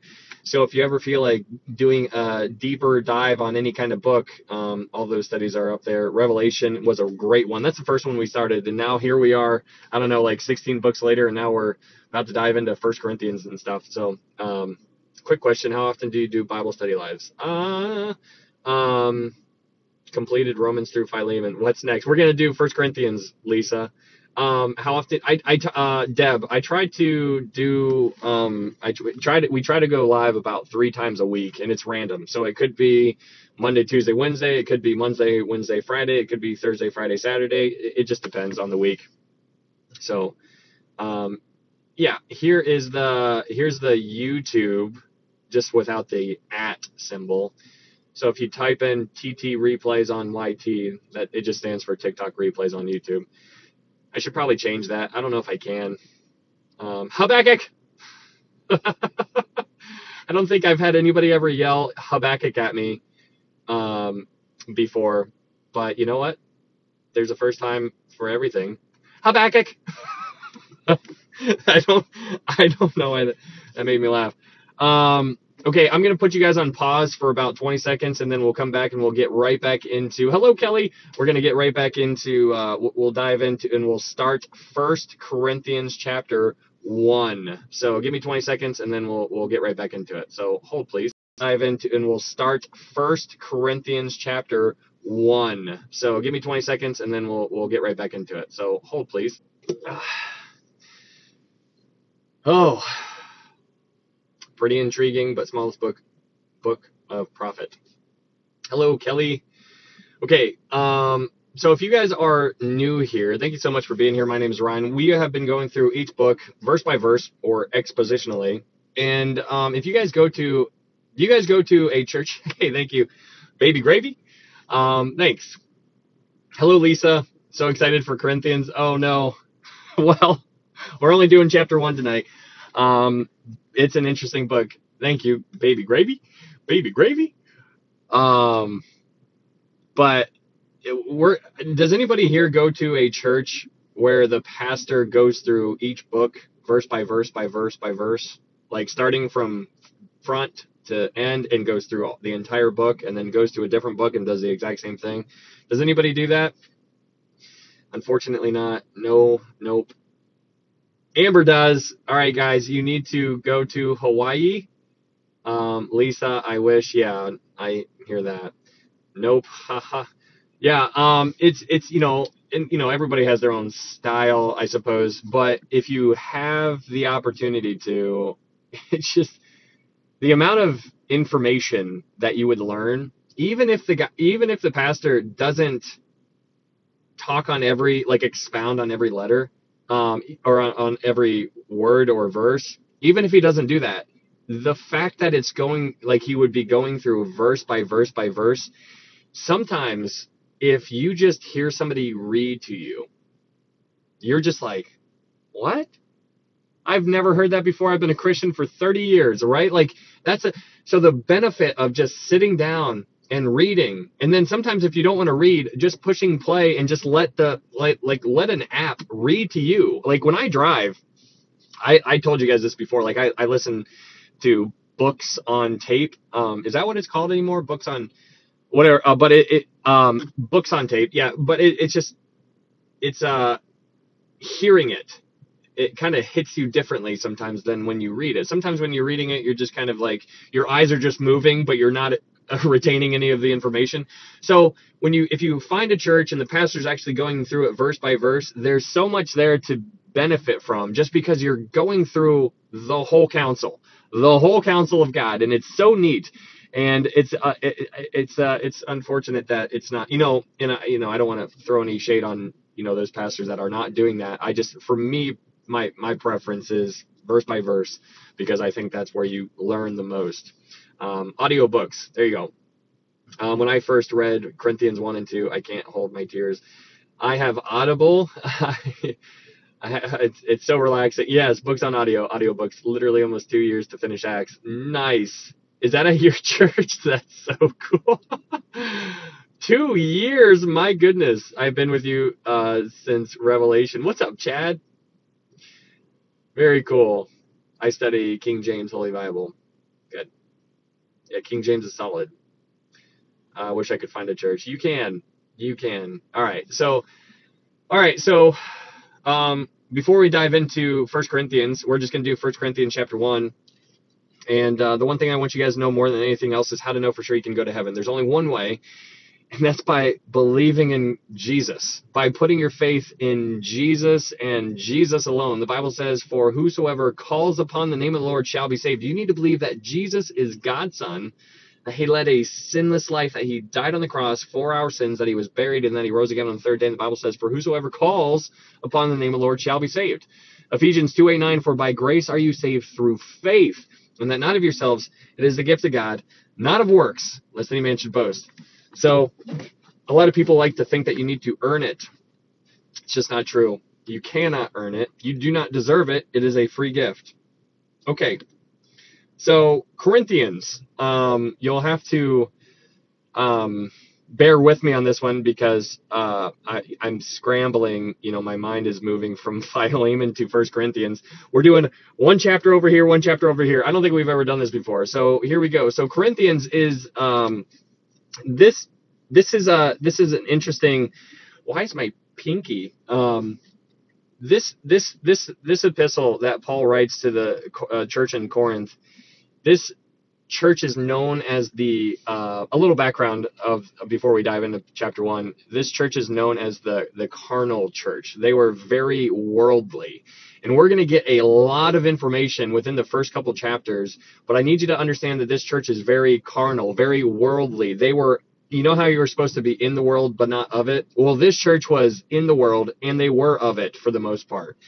And so they were very spiritually immature. They were babies within the faith. I don't know if there's any babies in here that, you know, somebody who might be like 50 years old who's in here, they might have just came to Christ like a week ago. You would view them as a child in the faith, even though they might be older than you. There are people who are children and they've been a child for 50 years. And it's just crazy. I'm just like, man, so that's that's the unfortunate thing of the world um, that people are underdeveloped. They don't they don't they don't try to grow. And there you have the option to grow. A child will grow if they are fed. I mean, you see these skinny things and then you see the ones that are like, okay, you're eating way too much. Um, but it's just a funny thing but these people are uh, they, they are not separated from the world. So you what would you say? They are unseparated from the world which means they are still attached to the world. Um, but the city of corinth was a major influence to the world. And back during their time corinth hey thank you brown um, Corinth became an idiom for fornication. So it's interesting because you know, as we talked about, we've been in First and Second Corinthians a handful of times since throughout these studies, and you've heard you know the the, the words like it's it's First and Second Corinthians, or we could say First and Second Californians. Um, and I and I'm only doing that just to kind of get you through the idea tr- to try to get you to understand that Corinth, it was this very prosperous, like huge city where there was tons of people, and it's it was a combination of uh, California, Las Vegas, and New York all rolled into one ball. Hey, thanks, Lisa. It was all rolled into one ball, and that is what I want you to think of when you think of Corinth. It was fornication. The idiom was if you said Corinth or hey, you're a Corinthian, then you would automatically have this stigma attached to you as you're messed up and you're highly involved in fornication. Because during this time, there were these, um, they were they were big into uh, mythology, and so within Corinth, they had these temples that were built for all of these Greek gods. They were so, like everywhere you would look, there would be a Greek god, Greek god, Greek god, or a goddess. So, for example, they had a temple that was uh, built for specifically for Aphrodite, and so they had a thousand, over a thousand prostitutes that were within the area. And Aphrodite, thank you, Lisa. Aphrodite was the goddess of beauty, of lust, of uh, you know procreation type thing, um, of love, and so you had this temple and all of these people in the area were being influenced by the people who were outside of the temple, which were these thousand prostitutes. And so, can you imagine walking around and just trying to go buy a loaf of bread and just looking a, like down the street and you just see all of this, just just stuff, fornication, you know, happening? That's the that, that's the that's the environment where this church was written to. This was a church in the middle of a mud puddle. That's what's going on. So when you think of Corinthian or First and Second Corinthians, like Californians should type kind of come to mind. And I'm not dissing, you know, if anybody's here from California, I'm just saying the lifestyle. It's like uh, uh, uh, you have licentiousness, you have lawlessness running rampant. Like right is wrong, wrong is right. It's that kind of world, and everybody's going okay with the wrong way of going. It's like going if you go with the flow in the world, then you're going the wrong way because the world is going the wrong way. So you need to go push against the grain. It's why the Bible says, "Broad is the way that leads to destruction, and narrow is the gate that leads to life, and few there are that find it." There's going to be a lot of people. The majority, if you if you study, if you pay attention to patterns throughout the Bible, the majority in the Bible is almost always wrong. The majority in the Bible is almost always wrong. The the people of Israel, every time they would follow, they would always follow their leaders it's crazy. Paying attention to them like wherever the leaders would go that's where the people would go. Wherever the leaders would go that's where the people would go. If the leaders were right the people were right. If the leaders were wrong the people were wrong. And so when they went into idolatry then the people went into idolatry. When they were went to and they fell before the lord the people fell before the lord. So that's like the trend within the jewish world. And um, so paul is writing going to be writing this or he, he wrote this letter to the church that was in corinth which is in modern which is in greece and um, it, uh, Corinth was a type of a um, a, a, melting pot. So you know how America is like the melting pot, right? Like everybody from all across the world, they come together, and here we are. That's kind of like what Corinth was, because Corinth had the Greeks, they had Latins, they had Syrians, they had Jews, they had everybody and anybody, and they all came together, and that is the area that was that was what Corinth was. Um, so they also they didn't only uh, worship Aphrodite by herself. There were other gods there like Apollo or Poseidon or Hermes or Athena. They had all those other uh, Greek gods that they worshipped as well. But Corinth was essentially the center of paganism. That is bananas. Um, I mean, the center of paganism if you if you went and you traveled but your home was from corinth and you were a corinthian you know how you're an american? Like we're american so if you leave america you're you go to another country you're like yeah i'm an american. Same is true for corinthians. There if you were from corinth you were a corinthian. And so whenever anybody heard you were from Cor- Corinth, they would look at you and you'd be like, everybody knew, everybody knew, everybody in the world, they knew what was going on in Corinth. It was the center of paganism. Um, so Paul ended up going to Corinth back in Acts. Let's go to Acts chapter 18 um, because it's it's it's it's uh, it's we get a little bit of information about it in Acts chapter 18. Um, in Acts chapter 18, it says Acts chapter 18 verse 1. This is where the the founding of the church at Corinth. So um, in Acts chapter 18 verse 1, it says, After these things, Paul departed from Athens and went to Corinth. Um, in verse 2, it says, And he found a certain Jew named Aquila, born in Pontus, who recently come from Italy with his wife Priscilla, because Claudius had commanded all the Jews to depart from Rome. And he came to them. So, because he was of the same trade, he stayed with them and worked, for by occupation they were tent makers. And he reasoned in the synagogue every Sabbath and persuaded both Jews and Greeks. Now, here in verse 4, it's just so interesting to pay attention to the word persuade. Now, the, I, I just find that fascinating because Paul says uses the word persuade multiple times throughout his epistles. But Paul, wherever he was going, he was persuading people, and he was he, he was he was contending for the faith, and he was he was trying to um, he was um, he, he was always contending for the faith, and he was trying to uh, defend the faith no matter where he went, so that he might try he might win some. He was always trying to win people for the Lord. And then you know he's like, I am persuaded that in who in whom I have believed that uh, you know um, that he is able to keep what I have committed unto him against that day um, he persuaded he he is persuaded persuaded persuaded. So the question on the table here is can you persuade somebody to christ? Because you have to sometimes. Sometimes it's just not enough to say hey jesus loves you. Like how far does that go? Like i mean it only goes a little bit and then they're like what do you mean? Then you have to persuade them. Like you might have just got their attention but then you have to persuade them and, and show them and tell them. But here in acts chapter 18 verse uh, uh, 4, it says, And he reasoned in the synagogue every Sabbath and persuaded both Jews and Greeks. He was uh, bilingual uh, in a sense. He was able to speak Jewish language and he was able to speak Greek language. He was able to talk to him. If you were a Jew, he could talk to you how a Jew needed to be talked to. If you were Greek, he could talk to you how a Greek needed to be talked to. But it says, when Silas and Timothy had come from Macedonia, Paul was compelled by the Spirit and testified to the Jews that Jesus is the Christ. And when they opposed him and blasphemed, he shook his garments and said to them, Your blood be upon your own heads. I am clean. From now on, I will go to the Gentiles. Now we know that Paul's ministry was to the Gentiles, but he had a heart for the Jewish people. That is nothing new. We've talked about that a ton of times.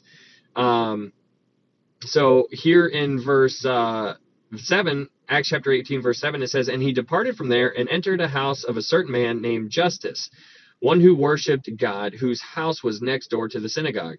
Then Crispus, the ruler of the synagogue, believed on the Lord with all his household, and many of the Corinthians, hearing, believed and were baptized. So um, here we have the Corinthians. Many Corinthians heard, and then after they believed, then they got baptized. That is what we need to be doing as a Christian. If you come to Christ, you give your you you get saved by faith and faith alone. Once you get saved, you should get water baptized. That's just how it would be. Um, Agent Smith, false. what the word? what? Oh man. Okay. Um, so so baptism doesn't save you. Baptism is what we should end up being uh, should do uh, just by after we come to Christ. We should do it. It, it does not save you uh, we know that is salvation is obtained through faith and faith alone. Now there are other people who would argue against that, and you need to be mindful of those people, and you need to know what you know, and you need to know why you know it. I believe salvation is obtained through faith alone, but other people will say no, it's faith and baptism, and you need to obey the law. So where do you land? Where do you land? So, um, so when you go to um, verse 9, Acts chapter 18, verse 9, it says, Now the Lord spoke to Paul in the night vision, Do not be afraid, but speak and do not keep silent. For I am with you, and no one will attack you to hurt you. For I have many people in this city. And he continued there a year and six months, teaching the word of God among them.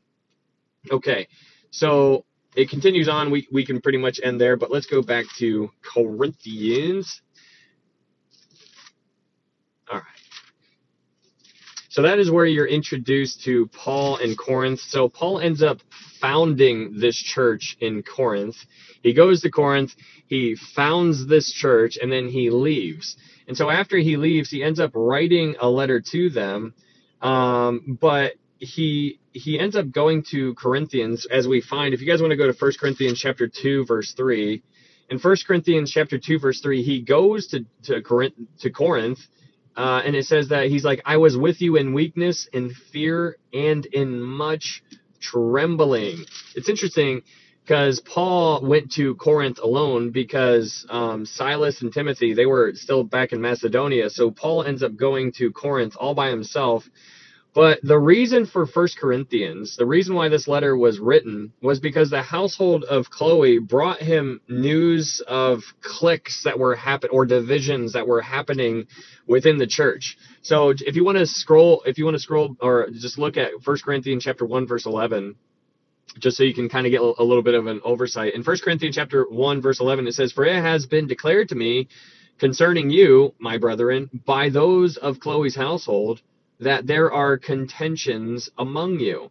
So this is the reason why the letter was written because there were so Paul is addressing um, so Paul received a letter from Corinth and now he is responding to the letter that he received.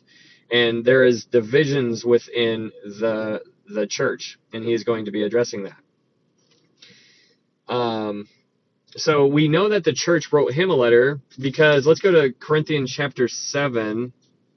In Corinthians chapter 7, verse 1, in Corinthians chapter 7, verse 1, it says, uh, 1 Corinthians chapter 7, verse 1, it says, Now concerning the things of which you wrote to me, it is good for a man not to touch a woman. So you have this whole corresponding going on between Corinth and um, Paul himself. What is going on here in the chat? We got A and Agent Smith. Are you um, Mr. Anderson from uh, what's it called, Matrix? Man, why you got to come in here and cause a ruckus? Don't you have anything better to do? It's three in the morning, my my man. okay. Romans nine thirteen, Malachi one three. Okay, well, I'm just gonna go ahead. I, I'm I'm gonna have to mute you, my man. Sorry about it. Sorry, buddy. Okay. Um, but you have this type of corresponding going on between the two. Um, sorry, I'm getting, I'm getting, I'm getting distracted. Okay. Um, I will, I will refocus, bring it back. Okay. So in First Corinthians chapter seven, verse one, it says, now concerning the things of which you wrote me, and so that's that's in First Corinthians chapter 7 verse 1. So Paul is telling us that they first wrote him a letter because there were some problems going on. So there's some problems going on in the church at Corinth. The church in Corinth initiates conversation with Paul. They write him a letter. Paul gets the letter. He reads it. He's told all these things by the people who end up delivering that letter to him because you know if a letter to get a letter from Corinth gets to Paul, there needs to be somebody hand delivering that letter. And so he gets this letter and he reads all about what's going on in Corinth and he was already there and so now he's hearing about what's going on and so that's what he's he, he's addressing it. So um, they they reached out to him first. But Paul visited Corinth multiple times. So we can look up some of those. So let's go to Second Corinthians chapter 2. Um, in Second Corinthians chapter 2 uh, verse 1 in Second Corinthians chapter two, verse one, it says, uh, it says, "But I determined this within myself that I would not come again to you in sorrow." So we have this. It's implied that he was already there. He's like, "I'm not going to come to you again in sorrow." So he was already there. So he's there multiple times. But let's go to Second Corinthians chapter twelve. In Second Corinthians chapter twelve. In Second Corinthians chapter 12 verse 14, we get more information about this whole relationship between Paul and Corinth. So in 2 Corinthians chapter 12 verse 14 it says this, "Now for the third time I am ready to come to you, and I will not be burdensome to you, for I do not seek yours, but you. For the children ought not to lay up for the parents, but the parents for the children." And so you have Paul is like, "I'm ready to come to you for the third time." And then we go to one page over in 2 Corinthians chapter 13 in 2 Corinthians chapter 13, we get more information again. In 2 Corinthians chapter 13, verse 1, it says, This will be the third time I am coming to you. By the mouth of two or three witnesses, every word shall be established. So there's clearly interaction going on between Corinth, right? So they're they're they're communicating with one another. Paul's going back and forth. There's multiple trips, multiple letters, um, and that is uh, um, that that's kind of a basic uh, overview of what's going on here. But some believe that Paul wrote a severe letter that was lost. And so there's some language that is used in 1 Corinthians and in 2 Corinthians that imply that there was a letter that was written to them and it got lost. And so because Paul says some things, he's like, I wrote to you about this. I wrote to you about this to you before and we like when we search the scriptures, we don't see where the things that he is mentioning that's nowhere to be found. And so it's implied that a letter is not here. We don't have it. Now, obviously, you know, I don't make a big deal about that, but it is something to be mindful of. Um, for example, it said, uh, um, so there are at least three visits that Paul did to Corinth, and there might be up to three to four letters that were there or that Paul wrote. So we have First and Second Corinthians, but it might have been First Corinthians, Second Corinthians, Third Corinthians, and Fourth Corinthians for all we know. But it's just an interesting kind of dynamic. And so, um, so the first visit is when the church was founded. That's what we went back and when, when we went to Acts chapter 18. That was when Paul first went there to Corinth. That was when the church was founded. The second um, time he visited was during the painful visit, which we'll talk about later. And then the third one was a visit after Second Corinthians had been sent. And we already went to Second Corinthians chapter 13 because he was saying, he's like, I'm ready to come to you the third time. So th- those are three visits that he ended up making to Corinth. Now, as far as the letters are concerned, there are maybe up to four letters, but the first letter referred to as the previous letter. Um, that's kind of we'll we'll tackle that when we get there. The second letter is what we know as First Corinthians, and then the third letter is the severe letter that has been lost. Because if you read Second Corinthians, you see how he was worried about how his letter came across to them, and he was like, "Oh, did it offend you? I, you know, was I too harsh?" And so he, Paul gets word that it, everything worked out and it was everything was okay, and so he was relieved. And so that that's uh, that's the that's the third letter, which is the severe letter, which you know we don't know much about because we don't have it. And then the fourth letter would be what we know as Second Corinthians. And I don't make a big deal about that. I'm just giving you the idea of what some scholars believe to be true. Some people are like, "Hey, there were multiple letters going on here," and a lot of people don't talk about that. I'm just uh, I'm just giving you that information just so you can be mindful of it because if you pay attention to the language through that that Paul uses and what he references it doesn't make sense. Like some of the things that he says, he's like he, he references things, and if you read it, you're like, what is he talking about here? I like I have no idea what he's referring to, and so that's why people come to the conclusion that there were other letters that we do not have. Now, does that mean that God failed at keeping His whole word together? No, absolutely not. We have what we need to have right here, and everything we have right here is perfect and it is complete. So that is good to know. Okay, so that is a little bit of an overview about uh, Corinthians, but the main takeaway is that this church was it, it, it, look at it as the first and second Californians, if you will. Look at this church as California, Las Vegas, New York, all balled up into one, and that is what Corinth is. Except you know Corinth was much worse than that. They were you know thousands of prostitutes outside the temple, seducing all types of people, all kinds of fornication, terrible. Hello, Holly. Um, okay. Hopefully, hopefully uh, that's just a little little review before we dive in. So hopefully, hopefully that, hopefully, hopefully that makes sense. But this is a very, very carnal church, and so this is going to be encouraging for some people here. That uh, we'll we'll get to it. Okay, and so in First Corinthians chapter one. In 1 Corinthians chapter 1 verse 1 it says Paul called to be an apostle of Jesus Christ through the will of God and Sosthenes our brother Sosthenes. Now say that word three times fast, and I don't even want to say it again, but I'm gonna have to eventually. But okay, just in case you guys are new here, because I don't know, Paul is the guy that we've been studying forever. Paul, he, he, used to be Saul. Paul, his name means least or little one. So he used to be the most like like way up here in his society when he was lost, when he was when he you know persecuted the church. Then when he came to Christ, he lowered himself so he was way down here. He he chose the name Paul, which means little one or least. And so Paul, it says in verse one, and Paul called to be an apostle of Jesus Christ. So an apostle is one that is sent forth. Um, and it says Paul called to be an apostle. So he was quite literally called. I mean, he was on the road to Damascus and he was called and Jesus tells us about that um, in the book of Acts. He called Paul, he called Paul to be an apostle. Apostle. Um, there are specifications that are uh, required to be an apostle. Um, those are all given to you in Acts chapter one. You need to be with them during John the Baptist uh, or the baptism of John, and then you had to witness the resurrection. And so there's these qualifications to be one of the apostles. But the word apostle means sent forth. Um, okay, so First Corinthians chapter 1, verse 1, it says, Paul, called to be an apostle of Jesus Christ through the will of God, and Sosthenes, our brother. So Sosthenes, he's the guy who was mentioned back in Acts chapter 18.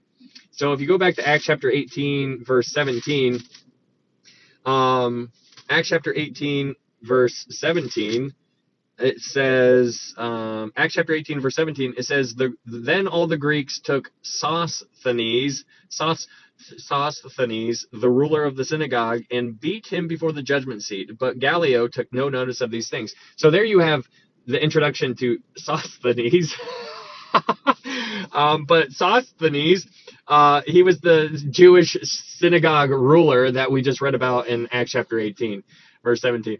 I don't like that name. Can you imagine? Like, did his parents hate him or something like that? Who names people that? I can't pronounce it very well. I have to like separate it into two words sauce, like tomato sauce, and then thanese, uh, sauce thanese.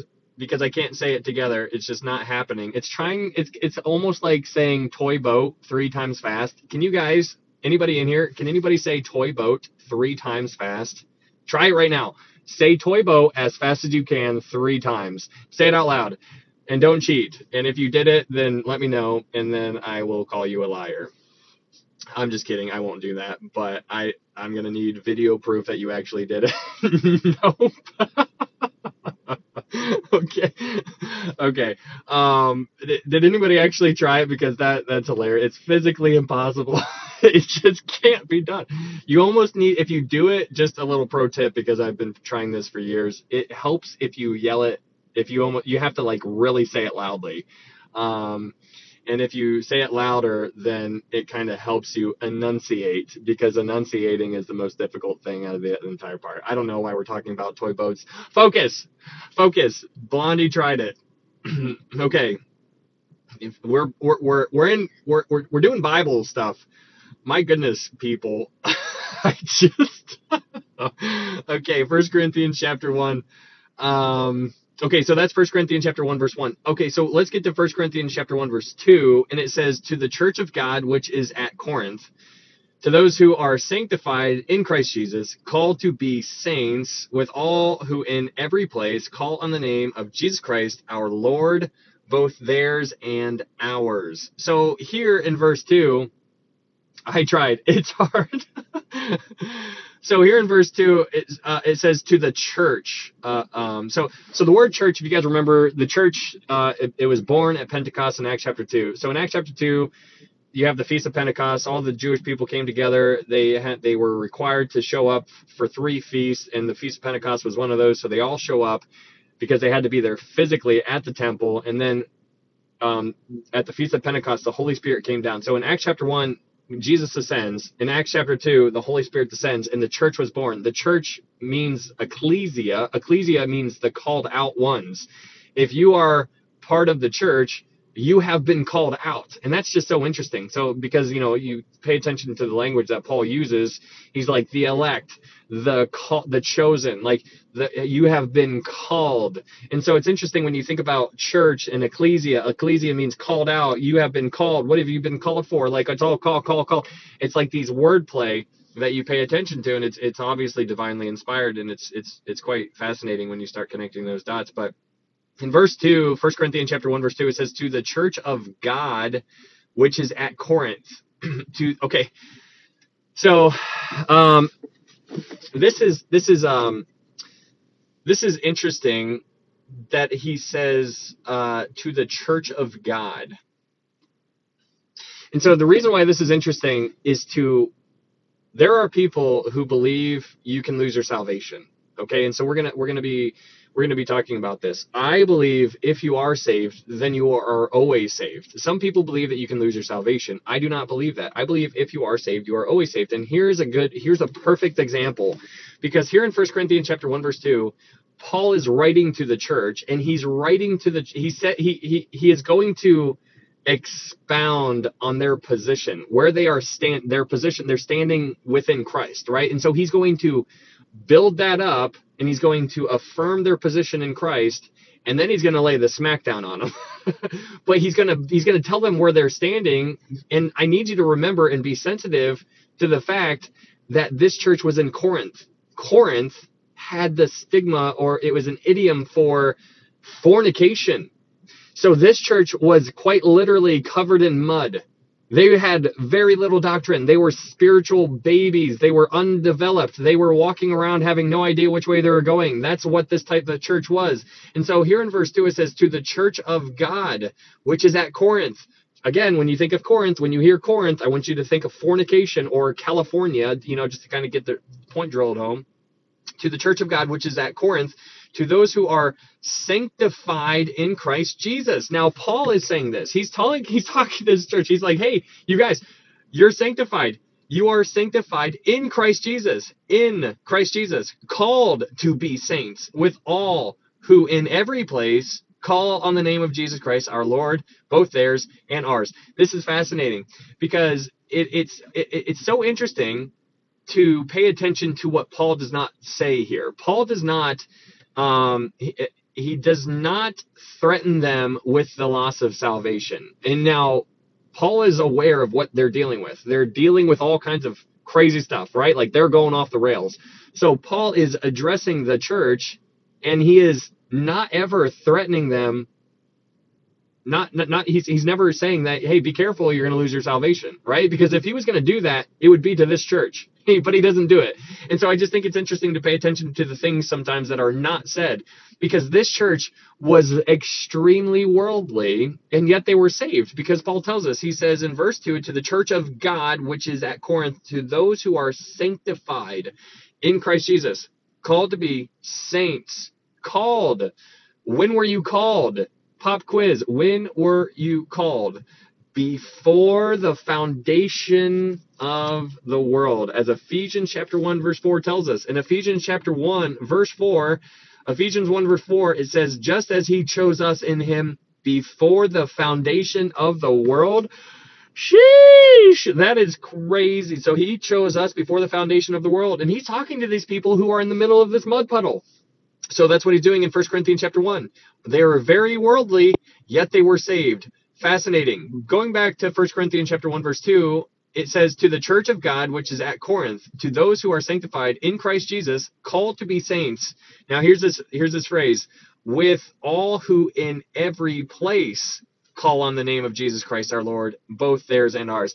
What I want you to pay attention to here is that Paul is addressing if you're born again, he's talking about you right there because it says with all who in every place. That's me. Like we call on the name of Lord Jesus Christ. Like he is our Lord and Savior.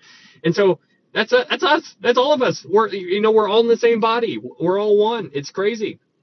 So we get to verse 3, 1 Corinthians chapter 1 verse 3 and it says grace to you and peace from God our Father and the Lord Jesus Christ. Now again, this is a very Pauline type uh, Ephesians 1 4, Laura. Ephesians chapter 1, verse 4.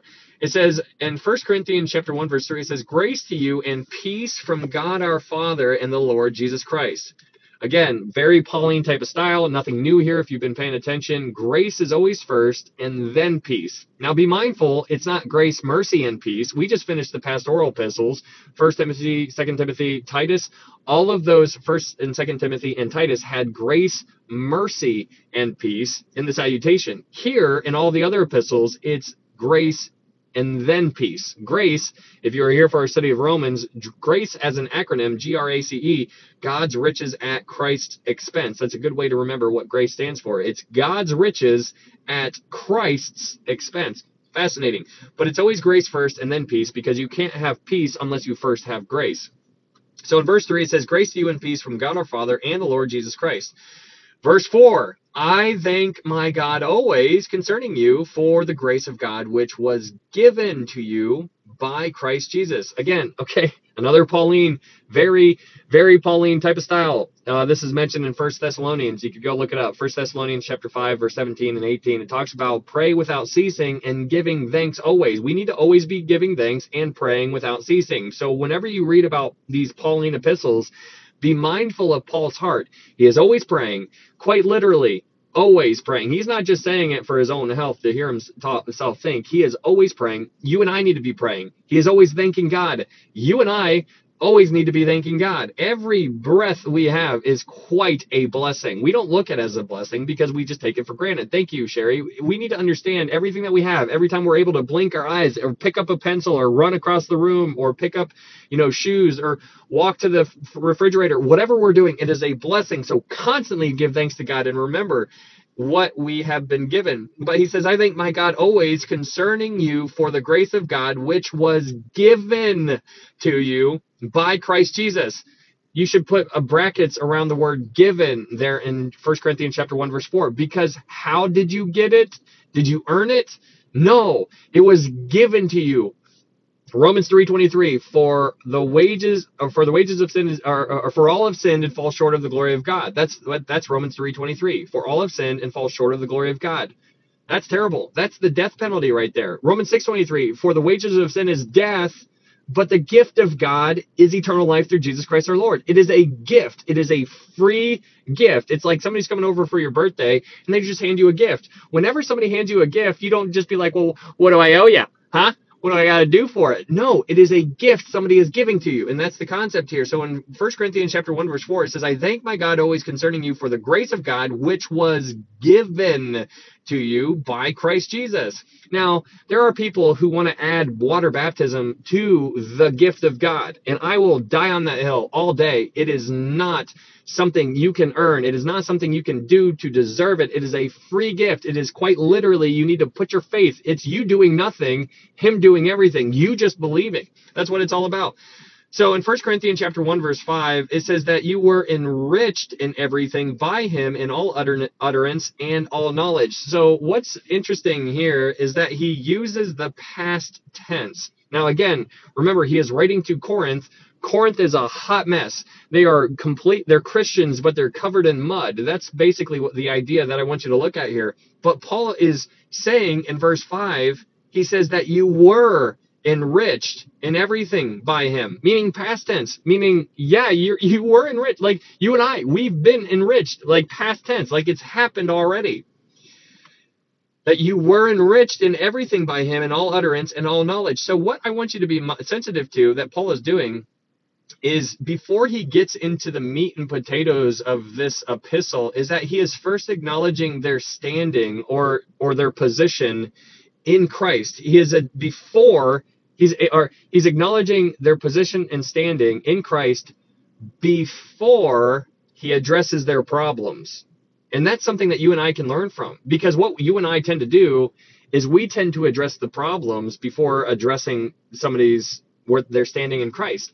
Because sometimes people forget. And this is why it's important to have assurance in Christ. And so I believe if saved, you're always saved. There are people who believe you can lose your salvation. And I'm just like, I can't imagine, I can't imagine like that would be terrifying because like if, if, if, if it's on what my, my opinion is of sin, if I if it's on what I believe God would whether like God would cast me away or whether he would keep me based upon how good I was today, on how my behavior was today specifically. Hey, today I sinned 383 times. And I am so thankful I didn't sin one more time because if I did, God would have thrown me away and I would have had to come back to him and repent and uh, ask him to save me all over again. No, I, I, I can't like that. That kind of belief has to be so and like it has to work up so much anxiety and worry. And so for me, and you know, I'm not throwing any shade on people who believe that. I just I just, you know, because we believe the same gospel, but I believe if you are always saved, if you are saved, you are always saved. And so what Paul is doing here is he's not addressing them losing their salvation. He's not saying, "Hey guys, you guys better square it away because you're you're messing in the mud puddle right now." He's not doing that. He's assuring them of their where they're standing in Christ. And so he's he's he's he's building that up their position before he addresses their problems. And I think that's very fascinating. Okay. Um, so when you go to verse six, um, but what do you what if you walk away from God on purpose? If you so that's you know it, it's not on me, Deb, to really answer on whether you are saved or you are saved or you are saved or that person over there.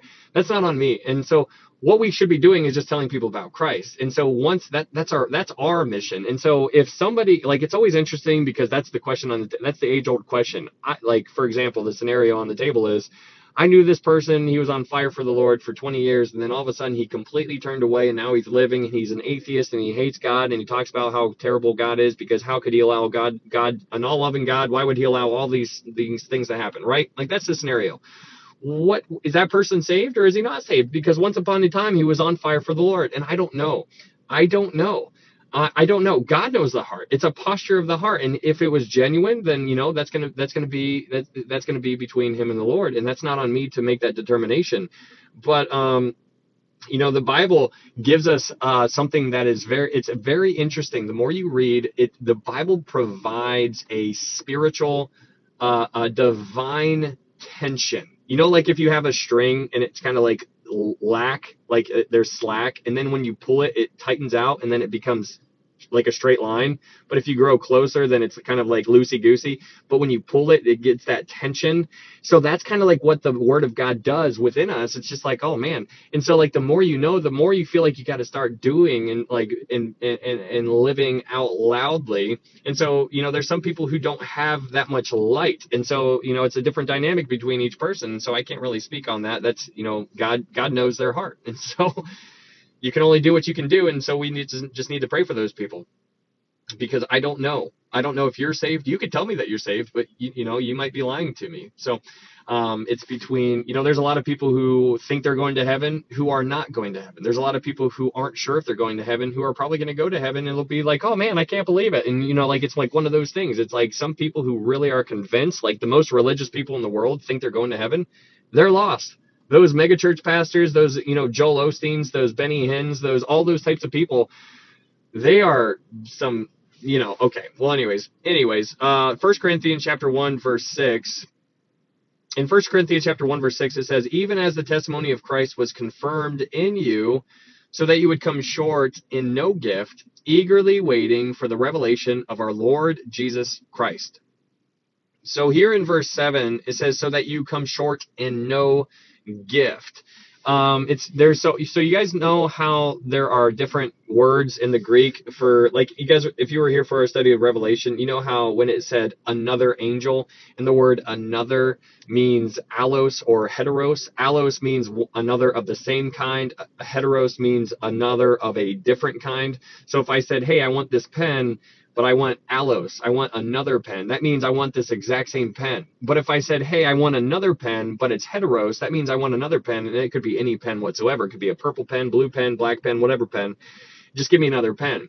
So there's different words, but our English version translate it to be the same way without giving the actual definition. So for example, so here in verse 7, the word gift uh, where it says, so that you come short in no gift. The word gift there is charisma. Now, there are different words in the Greek. Um, so if you go to Ephesians 2, uh, verse 8 9, where it says, For by grace are you saved through faith, and that not of yourselves, it is the gift of God.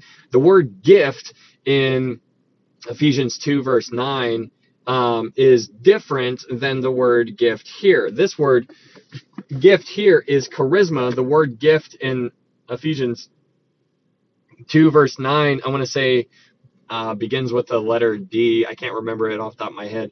But my point here is, is that there's different meanings behind these words. And so it's good to, to unpack what they mean because when you read an English word, you automatically assume that you understand what it's referring to. And that's something you need to train your mind to not think. You need to get over that and get back into the Greek and you know tap on a verse and see because sometimes you'll you'll you'll gain a better understanding anyway the word here gift is charisma and so um, it says so that you come short in no gift now it's these people here in corinth they they ended up becoming more occupied on the gift on the gift rather than the giver and so you know it's very it's it's very um, applicable when you read Revelation chapter two, because in Revelation chapter two and three, you you, you learn about the seven churches that received letters from Jesus. Uh, you have those seven letters that received seven church, uh, the seven churches that received seven letters. But the first church that was mentioned in Revelation chapter two is Ephesus. If you remember about Ephesus, what was wrong with Ephesus? Ephesus w- was doing all of these good things. Jesus writes to them, they're like, hey, you're doing good, you're doing good, you're doing good, you're doing good, you're doing good.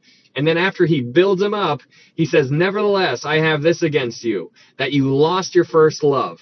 And so you have this church that was doing so many good things but they were so they they they chose doctrine over devotion. And so what God wants is he wants devotion over doctrine. And so where it's a it's a matter of your heart. The heart of the matter is always a matter of the heart.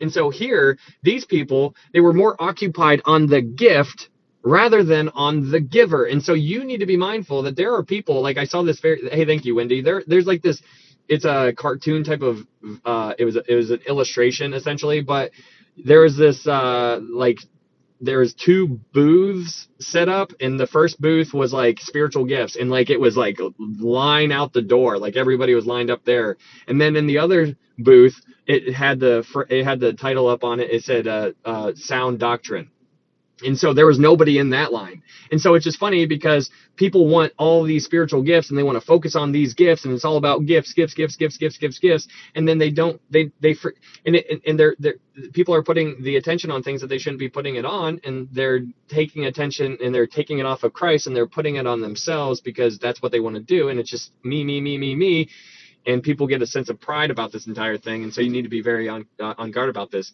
Going back to 1 corinthians chapter 1 verse 7 it says so that you come short in no gift eagerly waiting for the revelation of our lord jesus christ. Now here you have the word revelation. This word revelation is apocalypsis. Apocalypsis means unveiling. If you were here for um, our study of Revelation, you know that's we talked about that every time we went over our review. But a Revelation is apocalypsis. It means to unveil. Like I want you to picture like you're sitting in the stands and you're about to watch your kid perform a play at school or something like that and they're all behind the curtain and you hear all the noise back there and they're you know the seats moving and the, the chairs squeaking and the kids laughing and falling down and you know crying and all that type of stuff you can't see them because the curtain is there. But then right when the curtain is pulled, you start to see them. It is unveiling. And so that is why it's called the revelation of Jesus Christ. It is the unveiling of Jesus Christ. It is all about Jesus Christ. It's always been, it's never been about anything else. And we need to remember that because um, the more we do, the better our life will become or uh, uh, perspective wise. So in 1 Corinthians chapter 1 verse 7 it says so that you come short in no gift eagerly waiting for the revelation or the unveiling of our Lord Jesus Christ. Um, so it says eagerly waiting um, in verse 7, eagerly waiting. And that is that uh, if you go to Romans 8 23, go to Romans chapter 8, verse 23. This is one of those times where um, eagerly waiting is used time and time again. In Romans 8, verse 23, it says, Not only that, Romans 8:23 not only that but we also who have the first fruits of the spirit even we ourselves groan within ourselves eagerly waiting for the adoption, the redemption of our body. So here again, you have the phrase eagerly waiting. And so you have it in Romans 8:23, you have it in 1 Corinthians 1 7, you have in Romans, uh, you have it in Galatians chapter 5 5, you have it in Philippians 3:20, you have in Hebrews 9:28, you have it in Romans chapter 8, verse 19, 23, and 25. But it's eagerly waiting, eagerly waiting. And it's the same word used time and time again. And this word is um, this is always being directed towards Christ's return each time. So every time eagerly waiting is used, the word, the Greek word is apodekemai.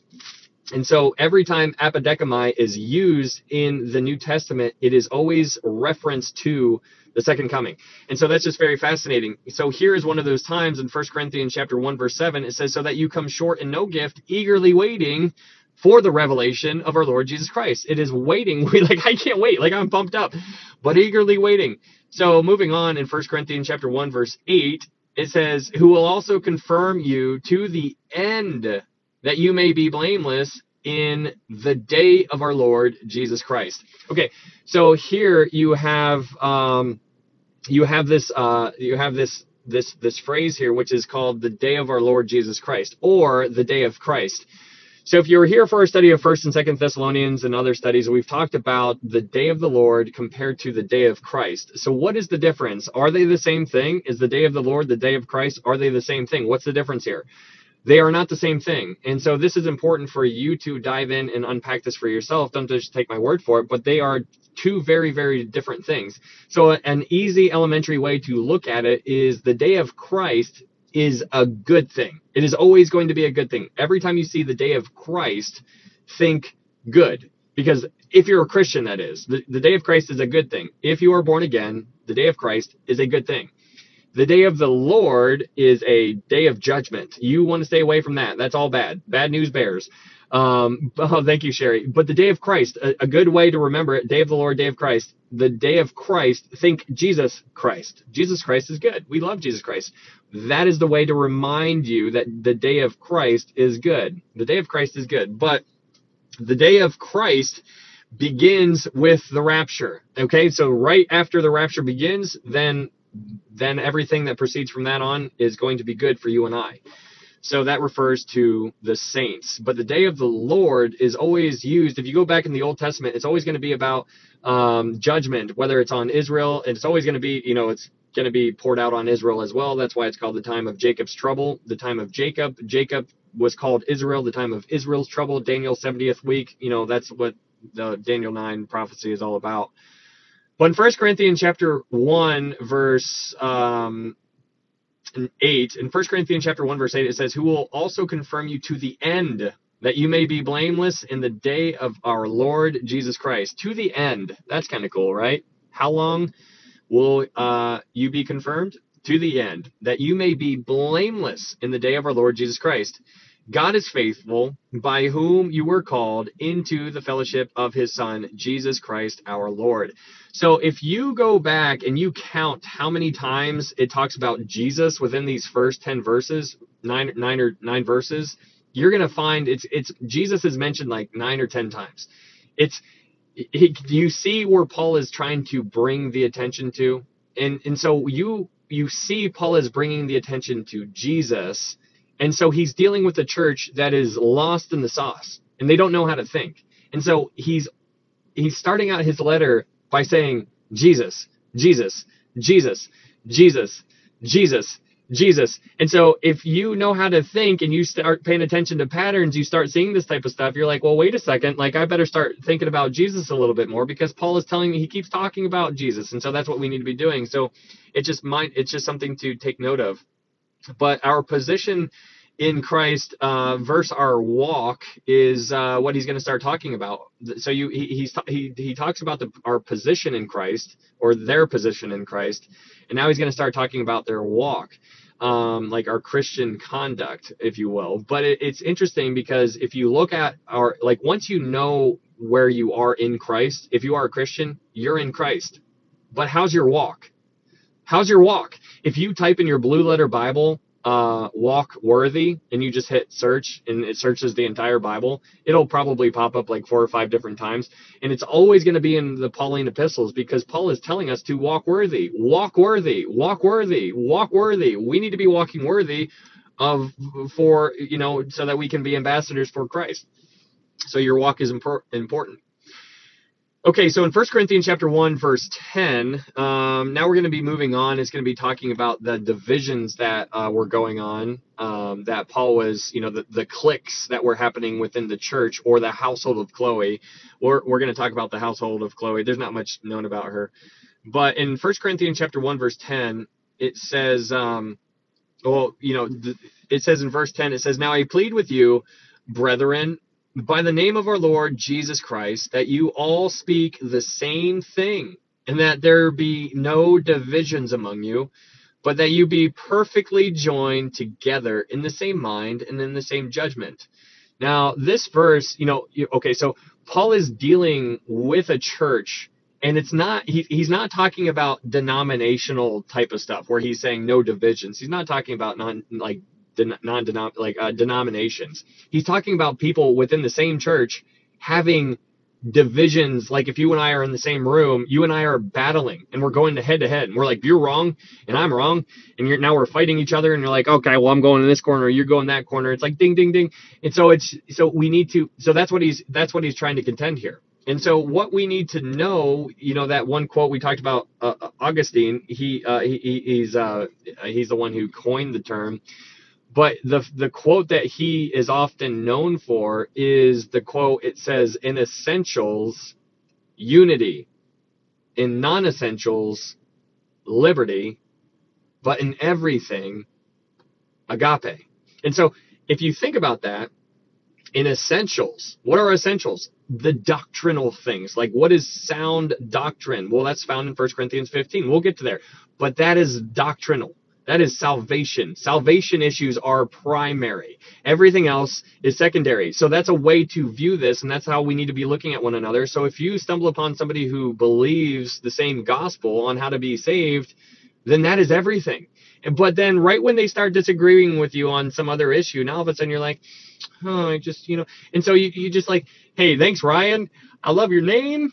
Um, but it's just interesting how we view things, and we forget that we ourselves could possibly be wrong, and uh, it just seems that we're right, and that's why it's so funny when people come in here and they're like, "You're wrong," and I'm like, "I I could be," like it's the secondary thing, and I'm just like, ah, you know, we're we're doing the best we can, but I'm never gonna die on a hill unless it's the gospel. And that's what i you know that's the main thing to take away here. I i might be different if you know if, if we were doing like an actual church thing i would be a little bit more direct because i think within a church it's good to be uh, direct on certain topics. Um, but for this tiktok purposes i think it's good to um, think and live this type of way and view other brothers and sisters in christ because we tend to look at people like they're enemies for some reason even though they might be a brother and sister in christ. But the the, the, the quote is in essentials uh, in essentials, unity. In non essentials, liberty. But in everything, agape. We forget agape so much, um, and so we need to we need to bring that back. So in 1 Corinthians chapter one verse 10, it says, "Now I plead with you, brethren." Now, if you take note of Paul is using the word brethren. Now we just went through the book of Philemon like an hour ago, and Paul kept using brethren, brother, brother, brother, bringing the whole family thing to, to, to mind. So the same thing is true here in First Corinthians. Paul uses the word brother or brethren at least 28 times. Now, it depends. That he might use brother, you know, and it might be more than 28 times, but brethren specifically, 28 times. And that's interesting. So that is a theme you don't just keep talking saying brethren brethren brethren like you don't do that unless you're trying to get your point across. So pay attention to the words. If you see words arise often then take note of it and pay attention to it and write it down and track it down and see how many times he uses it and then be like oh okay that's really interesting. Um, if you were going to write a letter you're going to talk about what you want to talk about and the thing that you want to talk about the most is the most important and it's going to be brought up the most. And so for Paul's case, it's Jesus. It's always Jesus. Okay, thank you, Carlos. But in 1 Corinthians chapter 1 verse 10 it says, "Now I plead with you, brethren, by the name of our Lord Jesus Christ, that you all speak the same thing and that there be no divisions among you, but that you be perfectly joined together in the same mind and in the same judgment. For it has been declared to me concerning you, my brethren, by those of the household of Chloe, that there are contentions among you. So here's this household, this Chloe's household. I don't know anything about Chloe um, other than she was in Smallville. If you guys ever watched that, that Superman thing, I think there was a Chloe somewhere in that one. But um, I don't know Chloe's household. I have no information on her, so there's that's a, a big unknown. Don't, not really sure, but it says, "For it has been declared to me concerning you, my brethren, that those of the uh, those of Chloe's household that there are contentions among you." In verse 12, it says, um, "Now I say this that each of you." Um, that each, each well i get okay so before we move on um isn't it okay so when you think about um i suppose let's say there's people in here who've been here for a long time i suppose but you guys have probably disagreed with me at some point right? And so if you have disagreed with me on some point you either look at me differently you either look at me the same and you're like I I you know I you know I know you're a brother in Christ and I just disagree with you on that topic over there but you know everything else you say I'm, I'm online I'm I'm I, I agree with or like I agree with 75% of the things that you're talking about there's a level where you kind of line up with other people right so but brothers and sisters in Christ assuming that you have everybody solid as far as the gospel is concerned what is interesting is that then all all of a sudden all these secondary topics arise. And so then you have these things over here like alcohol, women preachers, speaking in tongues, these spiritual gifts, um, the post trib, pre trib, mid trib, all of these secondary types of things, right? And there's all kinds of huge divisions among these things. And so people see things differently, but when you understand that if they believe in Christ and they are they, they believe that the only way to heaven is by accepting Christ as their personal savior, believing that he, Jesus is the son of God, that he led a sinless life, that he died on the cross for your sins and then he rose again on the third day. If they believe that, do you just, do you like, like it's not on me to like say who's saved and who's not saved, but it's interesting. It's just so interesting how we are because we look at other people and we're like, oh, they're wrong. Right. And we, we're like, they're, they're doing it. They're, they're doing it completely wrong and they're sinning, right? And then we just, and so I, there's a time for that, right? The Bible says, do not judge, but then it also says, judge in righteous judgment. And it's so difficult. And so what I want you to understand is that if you are a student of the Bible, when you see another brother or sister doing something that you disagree with, love needs to be going forth first. Go there with nothing but love, like hat in your hand type of mentality and then approach them with the most love that you can possibly show somebody because they are a brother, they are a sister. And it's so funny how we are because we do the opposite. Like, I, I, told you guys, I was in that one, what's his name? Uh, John, uh, John from Patmos. I joined his live and he, he talks about end times all the time. And I just made the comment, I was like, pre trib seems to make the most sense with me. And I did a smiley face. And that's all I sent. And then I got blocked. I was like, okay, I'll see myself out. Um, but it was just the funniest thing. I was like, what was that? I was like, I, I, I feel like he was pretty solid on the things like the way he was looking at, and it's just very interesting that I got blocked. But I thought it was interesting. Um, and I don't know, you know, it's not that big of a deal, but I just thought it was hilarious. But thinking about brothers and sisters in Christ, if we disagree on some secondary issues, like for example, alcohol, alcohol is a big deal. People are struggling. Some people say it is, some people say it's right, wrong, some people say it's right, some people say it's all this type of stuff. And we've talked a lot about alcohol within these studies, but it's just funny how the people who are for sure, they're like, I am positive that it's wrong. They look at people differently and they almost like they almost forget and it, it, it's just we just need to be mindful we need to remember love and so is it a primary issue no? Okay well then we can we can address this and we can still have i don't know it's just an interesting thing right? So i don't know be sensitive to it it's tough we're all trying to do i don't know it's tough guys. Man the more i learn the more i realize how much i don't know and that is just that's kind of what you're you're just seeing now i'm just talking now. Okay anyways. But the question on the table after all that the question on the table is do we grieve him when we attack another brother if I attack another brother, if I attack another Chris, uh, another Christian, another another sister, am I grieving? Am I grieving him? Right? Because if I'm in Christ and they are in Christ and we are of the same body, then am I grieving him? Right? That's an interesting thing. And so, like, I don't want to grieve the Holy Spirit. I don't want to grieve him. So if we're all in the same body, it'd be like like you know we all have a, a role. Like all of these fingers they all have a different role. And so like if i'm ticked off at this finger because i don't agree with it what it's doing and i just ha! You know like i'm just gonna you know i'm not gonna do that because it's the same body. And so it's just an interesting thing how we are. Anyways First corinthians chapter 1 verse 12 sorry i did not mean to wax long there. In First corinthians chapter 1 verse 12 it says now i say this that each of you says, I am of Paul, or I am of Apollos, or I am of Cephas, or I am of Christ. Is Christ divided? Was Paul crucified for you? Or were you baptized in the name of Paul? I thank God that I baptized none of you except Crispus and Gaius, lest anyone should say that I had baptized in my own name. So this is kind of expounding on what we just got done talking about. So the question on the table is is in verse 13. Is Christ divided? No, he's not. Christ is of the same body. We are of the body of Christ. And so um, baptism is on the, the the topic of conversation now. Paul says in verse 14, he says, "I thank God that I did not baptize uh, that I baptized none of you except Crispus and Gaius." Lest anyone should say that I had baptized in my own name. And then he goes to verse 16. He says, Yes, I also baptized the household of Stephanas. Besides, I do not know whether I baptized any other, because it wasn't that important for Paul to actually think about baptism.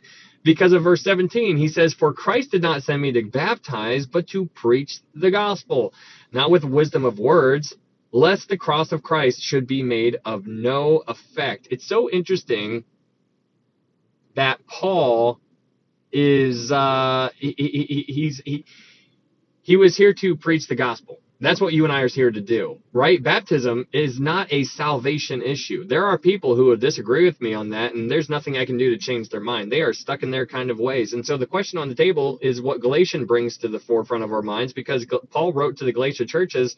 He was talking to the, the Christians within Galatia, and he's like, I'm writing to you because of all these people who are giving you a different gospel. These people, he's like, you're accepting a different gospel. And so the question on the table that you can answer, only you, the person behind the screen, can you tell me what is a different gospel? Or do you think that this is the same gospel as this, even though there's a little difference?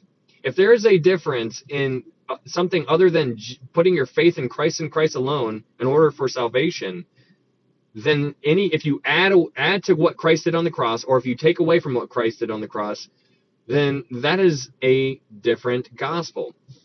And so we need to be mindful of what the gospel is, and that can be found in 1 Corinthians 15, 1 through 4. But it is Christ died according to the scriptures. He was buried and that he rose again on on the third day according to the scriptures. That is everything. And that is what I want you guys to know more about anything. But Paul never like he he didn't even know how many people he baptized because it wasn't that big of a deal. He's like, yeah, sure, I baptized um I baptized uh, the household of Stephanas. Besides that, I don't know whether I baptized any other. He's like, no, but he could tell you the people that he led to the Lord because that was what it's all about.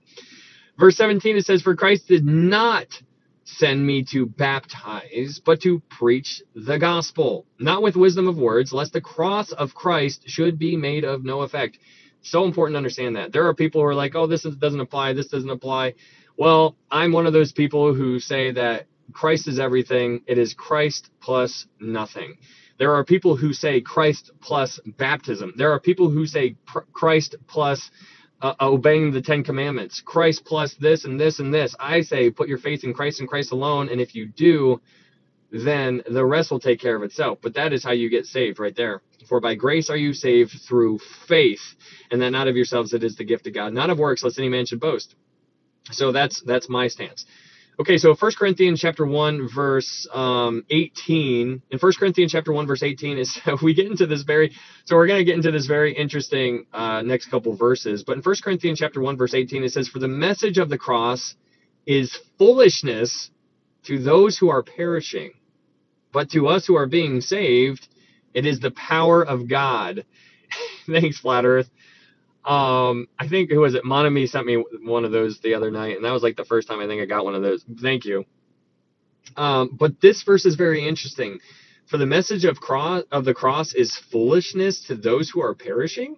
What? So if somebody is dying the cross is foolishness to them but for those who are being saved, it is the power of God. Now, that is a phrase right there. Wow, the power of God. So, here in verse 18, what I want you to understand here is that this verse, quite literally, divides the world into two people, into two categories. You are either perishing or you are saved uh, G mommy, so we're only saved by having faith. Yes. For by grace are you saved through faith, and that not of yourselves, it is the gift of God, not of works, lest any man should boast. So you are it tells you right there, and that's in Ephesians 2, 8, 9, if you wanted to go look that up. G mommy. so, okay. Um, but in 1 Corinthians 1, verse 18, this verse, this verse, um, should get you to see that the whole world is in two categories. You are either perishing or you are saved. So the, the question on the table is which one are you in? Are you perishing or are you saved? Did you know that there's people walking around right now who are completely dead spiritually? They're they're they're zombies of sorts, right? Like if you want to look at them that type of way they are they, they don't they're they're they're walking around they're breathing but spiritually they are dead. And so which one are you? Which one are you? Are you perishing or are you saved? And so the question on the table is how do you know that you're saved? And so a a, a litmus test of sorts according you know playing off of verse 18 here in 1 corinthians 1.18 is the question on the table is well is the cross is the message of the cross foolishness to you because it says that the message of the cross is foolishness to those who are perishing. So, are you in here right now and do you look at the cross as if it's ridiculous? As if how, yeah, right, okay, okay, tell me something else. St- mythology, it's it's fake news, like all kinds of. Is that do you have any of that going on? That's just a litmus test. I can't tell you if you're saved or not. That's between you and the Lord. But this is a type of litmus test on how can you know that you're saved? Well, ask yourself, do I think the cross is foolishness? Um, it's an interesting way to view things. But it says, but to us who are being saved, it is the power of God. It's interesting that he says being saved. Now, we talked about the tenses of salvation, right? When you get saved, back whenever you became a Christian, whether it was yesterday, five days ago, 10 years ago, 20 years ago, there are tenses of salvation. There's past tense, present tense, future tense. Past tense is when you get justified. When you get justified, it means that you are declared righteous. He imputes his righteousness within you. You are declared righteousness. That was past tense. Justify. You have been justified. That's past tense present tense, meaning right now as we're talking, you are currently, if you're born again, you are currently being sanctified. Future tense is when we get home with the Lord, separated from the presence of sin. That is when we will be glorified. So past tense, justified, present tense, sanctified, future tense, glorified. So here in verse 18, uh, in the middle of verse 18, it says, But to us who are being saved, I ha- you can say, if you're born again, you can say, I have been saved I am currently being saved and I will be saved. I have been saved, I am being saved, and I will be saved. Past tense, present tense, future tense. So here in verse 18, it says, For the message of the cross is foolishness to those who are perishing, but to us who are being saved, it is the power of God. Being saved, sanctification. We are currently being sanctified. Um, Okay, so let's go to verse 19. In verse 19, it says, For it is written, I will destroy the wisdom of the wise and bring to nothing the understanding of the prudent. So you guys want to go to Isaiah chapter 29. Oh, wow, I almost turned right there. Isaiah chapter 29. Um, in Isaiah chapter 29, verse 14, this is where he is quoting from. Paul is quoting Isaiah. Paul quotes Isaiah like a third of the time. It's crazy. He quotes Isaiah all the time. But in Isaiah chapter 29, verse 14, it says, Therefore, behold, I again do a marvelous work among this people, a marvelous work and a wonder, for the wisdom of their wise men shall perish, and the understanding of their prudent men shall be hidden. So that's in Isaiah chapter 29 verse 14, but let's go back to 1 Corinthians chapter 1. In 1 Corinthians chapter 1 verse 19, it says, "For it is written, I will destroy the wisdom of the wise and bring to nothing the understanding of the prudent." Verse 20, "Where is the wise? Where is the scribe? Where is the disputer of this age?" Has not God made foolish the wisdom of this world? This is so interesting. So, what's interesting about this whole scene is that in Corinth, there were about 50 different uh, philosophical movements during this time, and each one with their, their favorite philosophers. But what's fascinating about this is that Christians have like we need to understand that Christians have no need of philosophy. Like they have we have no need of philosophy. If you have the word of God, we have no need of philosophy. So if you go to um, Colossians, let's go to Colossians real fast because we went through Colossians like a couple weeks ago or two weeks ago or something like that. But in Colossians chapter two, um, we talked about, uh, you know, Colossians was dealing with Gnosticism. Gnosticism was basically the whole idea of mixing mysticism mixed with Jewish traditions, mixed with man made traditions, mixed with philosophy. And you would put all of those things and you would stir it around, and then you, that, that's what you had. That's, agnostic, that's what an agnostic is. But in Colossians chapter 2, verse 8, it tells us how to operate around these people like philosophers. Because in uh, colossians chapter 2 verse 8 it says beware lest anyone cheat you through philosophy and empty deceit according to the tradition of men according to the basic principles of the world and not according to christ. Everything is according to Christ, not according to me, not according to what you read in a different book outside of the Bible. That's why I say, like, if you're going to read any, if you're going to have a Bible study, don't go buy another book, but stay in the Bible and study the Bible. like, I'm not saying that, uh, you know, the commentaries are wrong or anything like that. I'm just saying, just be cautious. Um, but what's interesting, going back to First Corinthians chapter 1, in verse 20, where it says, Where is the wide, where is the scribe, where is the disputer of this age? When you look at the, the people during this time and the philosophical movement, it's fascinating to know that the word philosophy in the Greek, if you go in your blue letter, blue letter Bible and you click on the word philosophy, the word philosophy literally means the love of wisdom. So there are people who love getting all philosophical and all getting all knowledge and stuff like that and he says he was quoting Isaiah 29 verse 14. So in 1 Corinthians chapter 1 verse 19, going back to verse 19 here in 1 Corinthians chapter 1 verse 19, it says, "I will destroy the wisdom of the wise and bring to nothing the understanding of the prudent." That's crazy. So this whole all these people who love wisdom, if it's not in Christ, you have nothing. The fear of the Lord is the beginning of wisdom and knowledge. You need to first fear the Lord. If you do not fear the Lord, then you have nothing. And it's not me saying it. That's what the Bible says. It's fascinating. So moving on, 1 Corinthians chapter 1, verse 21, it says, For since in the wisdom of God, the world through wisdom did not know God, it pleased God through the foolishness of the message preached to save those who believe.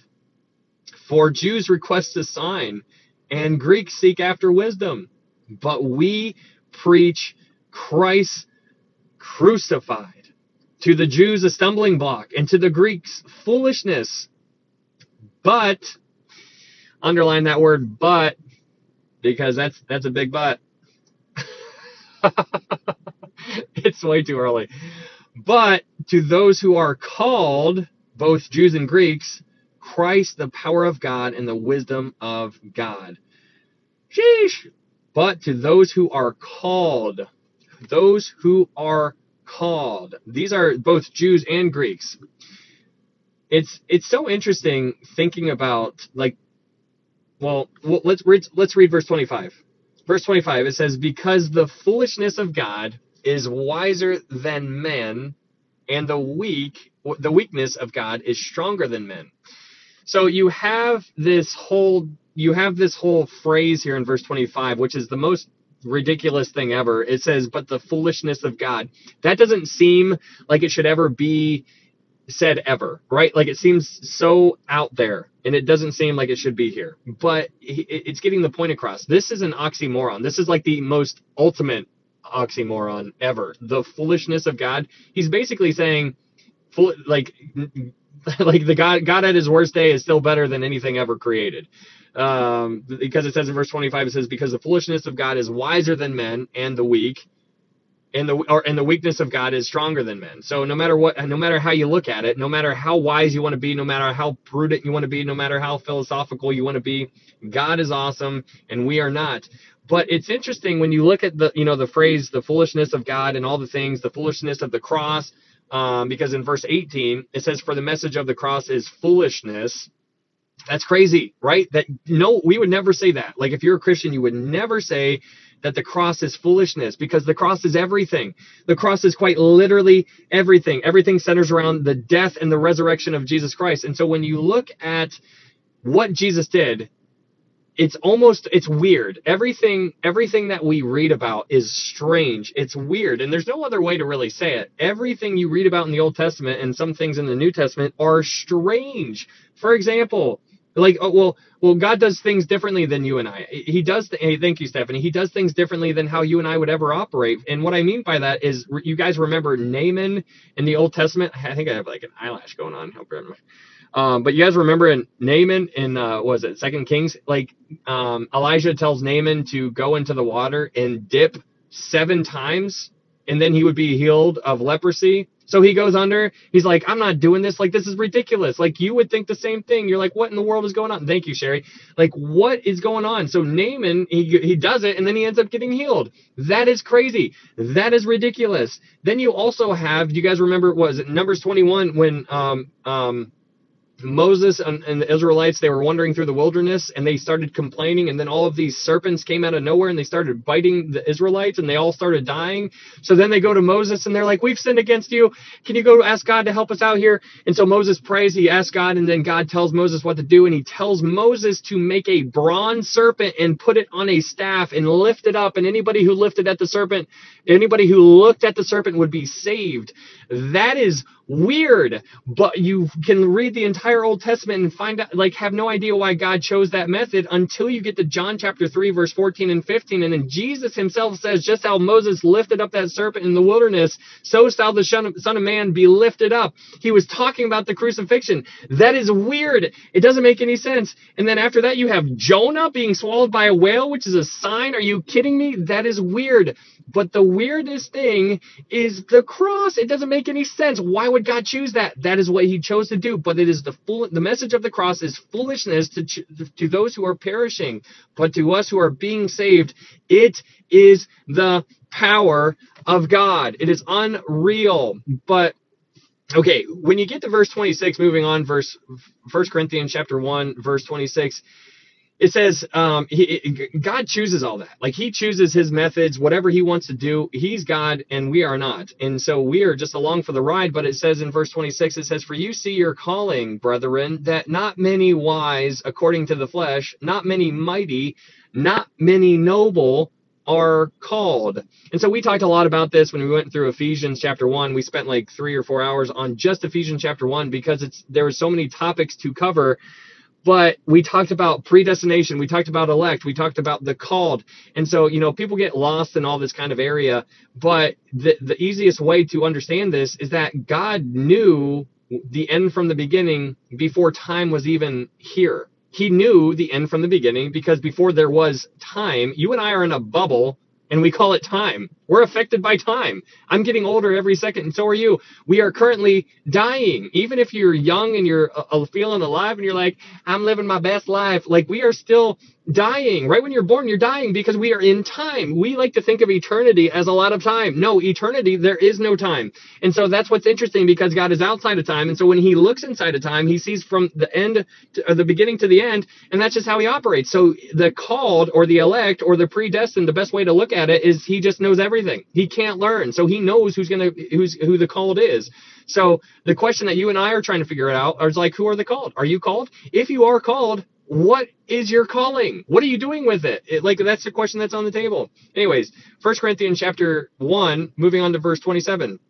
In 1 Corinthians chapter 1 verse 27 it says, "But God has chosen the foolish things of the of the world to put to shame the wise." And God has chosen the weak things of the world to put the shame to shame the things which are mighty. This is bananas, right? Like this this is wild. This is complete bonkers. But when you think about this, for example, verse 27, I'll read it again.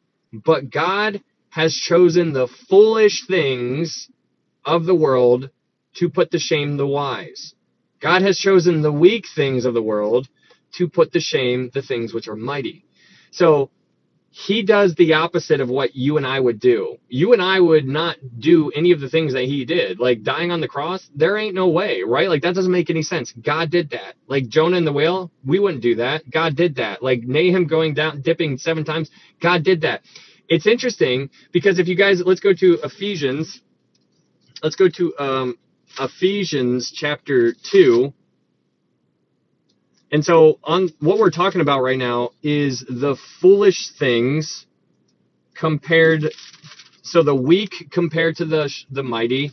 Um, we have in verse in First Corinthians chapter 1 verse 27 um, God has chosen the foolish things to put to shame the wise. So you have foolish versus the wise, and then you have the weak things versus the mighty. So God chooses the foolish and the weak, and he does not choose the wise or the mighty. And what's interesting, if if the power of God came through wisdom, then then only the intellectual would the in, intellectual gifted would be saved. And so it's not through wisdom it's it's through the cross. And so it's just interesting. So so talking about um in verse 27 um, comparing the foolish things to the wise and then comparing the weak things to the mighty.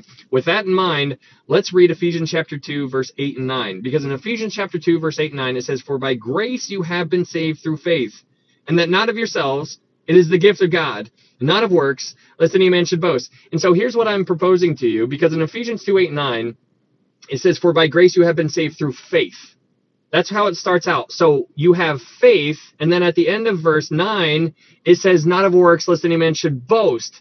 So it starts out with faith and it ends with pride. And so it starts with faith and it puts down pride. And it's like pride is not, no, remove the pride. It's through faith. And so it's the opposite of what we would do. We would put pride on top because it's something I would do. Like, look at me. Look at how good I am, guys. Look at how awesome I am. Oh, you're not as good as me? Oh, okay. No, you remove all that is through faith alone. And so you, when you think about faith versus pride, it's the opposite.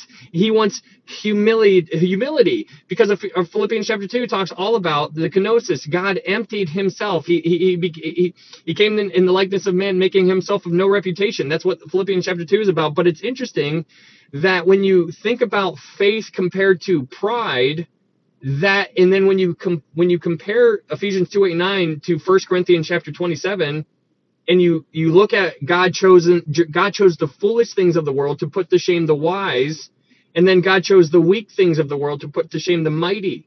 Because there are people who are muscling their way through life and they're thinking I'm going to make it because how, how awesome I am and I am working so hard and I got like a scale of good works over here bad works over here and I hope my good works outweigh my bad works and I'm really working hard to get to heaven. No, they're missing the point. It is for by grace you have been saved through faith.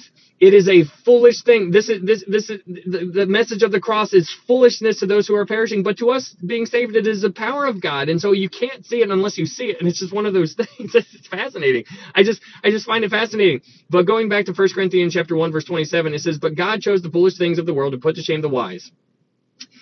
Thank you, Sherry. And it says, and God has chosen the weak things of the world to put to shame the mighty things. And so when you look at what God, how God operated when he was here on the earth, he chose 12 disciples. 11 of those disciples were, they, were fishermen, they were tax collectors, they were peasants. And then one out of the 12 was a, a, a Judean. He was, he was a gentleman. He, he was Judas.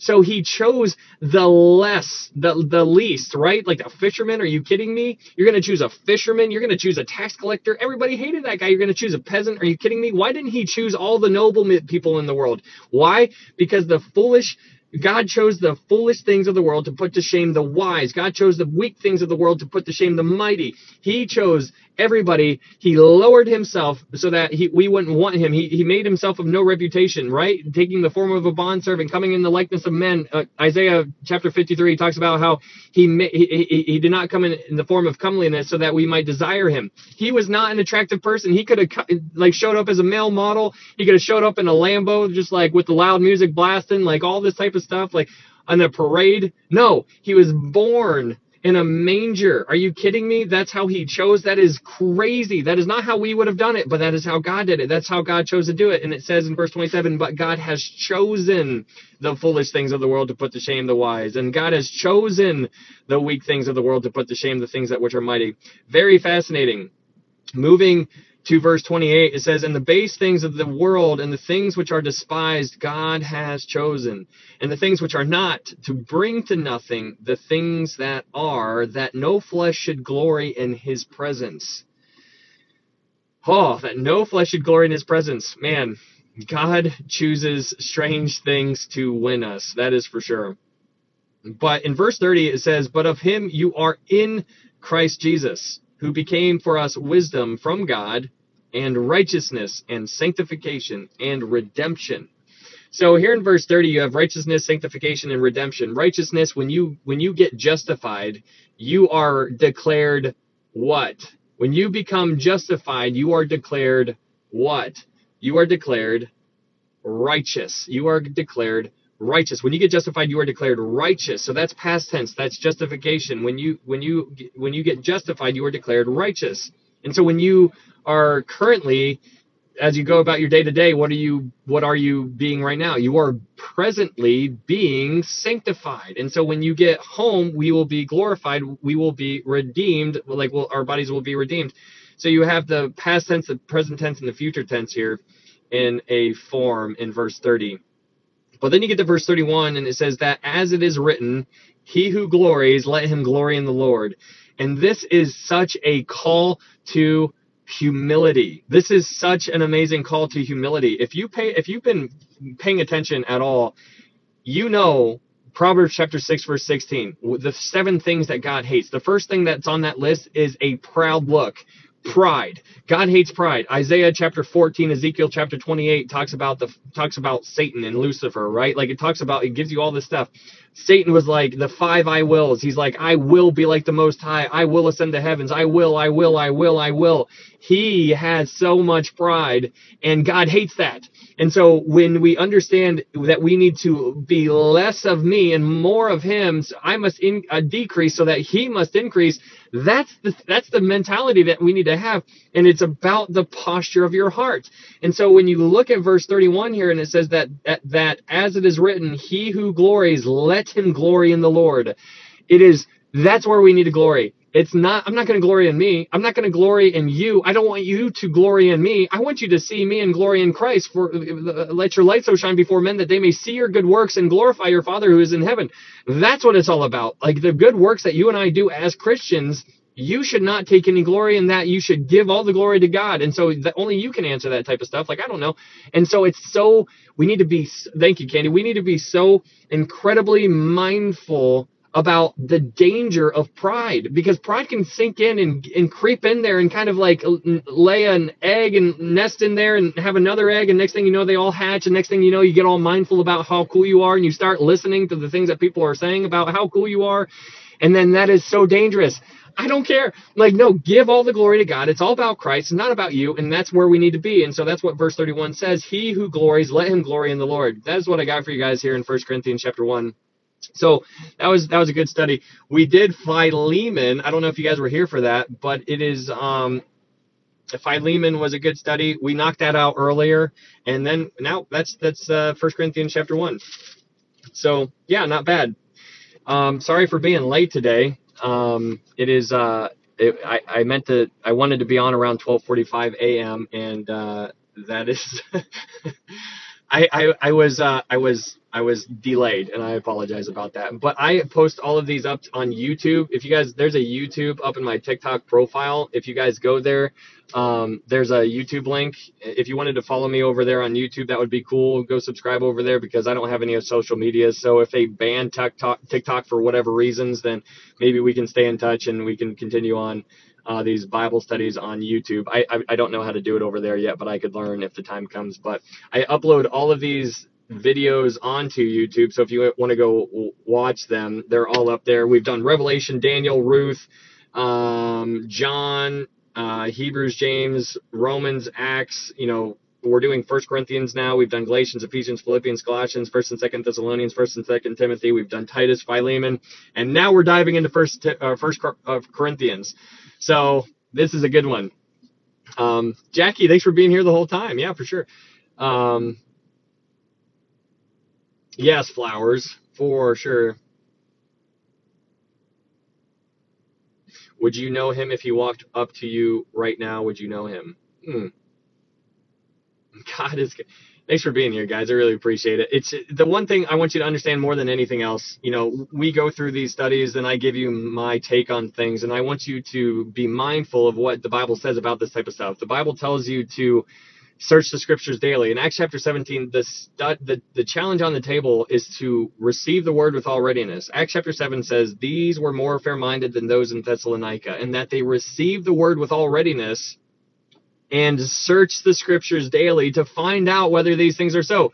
You need to do that. Hear what I say, hear it, take it as a grain of salt, and then search it, find it out for yourself. Don't just listen to me. Like I, am never going to lead you astray on purpose, but I'm gonna. I could be wrong on some of the things I think, but I'm not wrong on the gospel, and that is what you need to know. Um, thanks, Mark. Yes, what Mark just pinned there is my uh, YouTube. So if you t- it's if you type that in, it'll pop up. It's it stands for TikTok replays on YouTube. So I, I chose the worst name ever. I don't know. I'm new here. I need an adult. um, thanks, Ryan. I took notes. We'll read when I'm off. Very cool.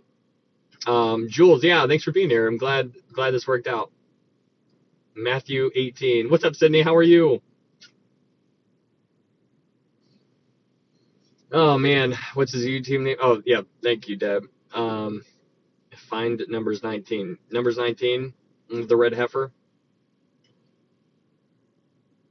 That was great. Yeah, cool, Blondie. Thanks for being here. You know, it's really challenging studying all this. Sorry I was late, Ryan, but I enjoyed the parts of the study I did here. No problem, DJ Nick. No problem at all. I'm glad you were. I, I didn't put out a TikTok story and letting everybody know that I would be here, so that was my fault. Just because I, I didn't pull one out because I didn't know.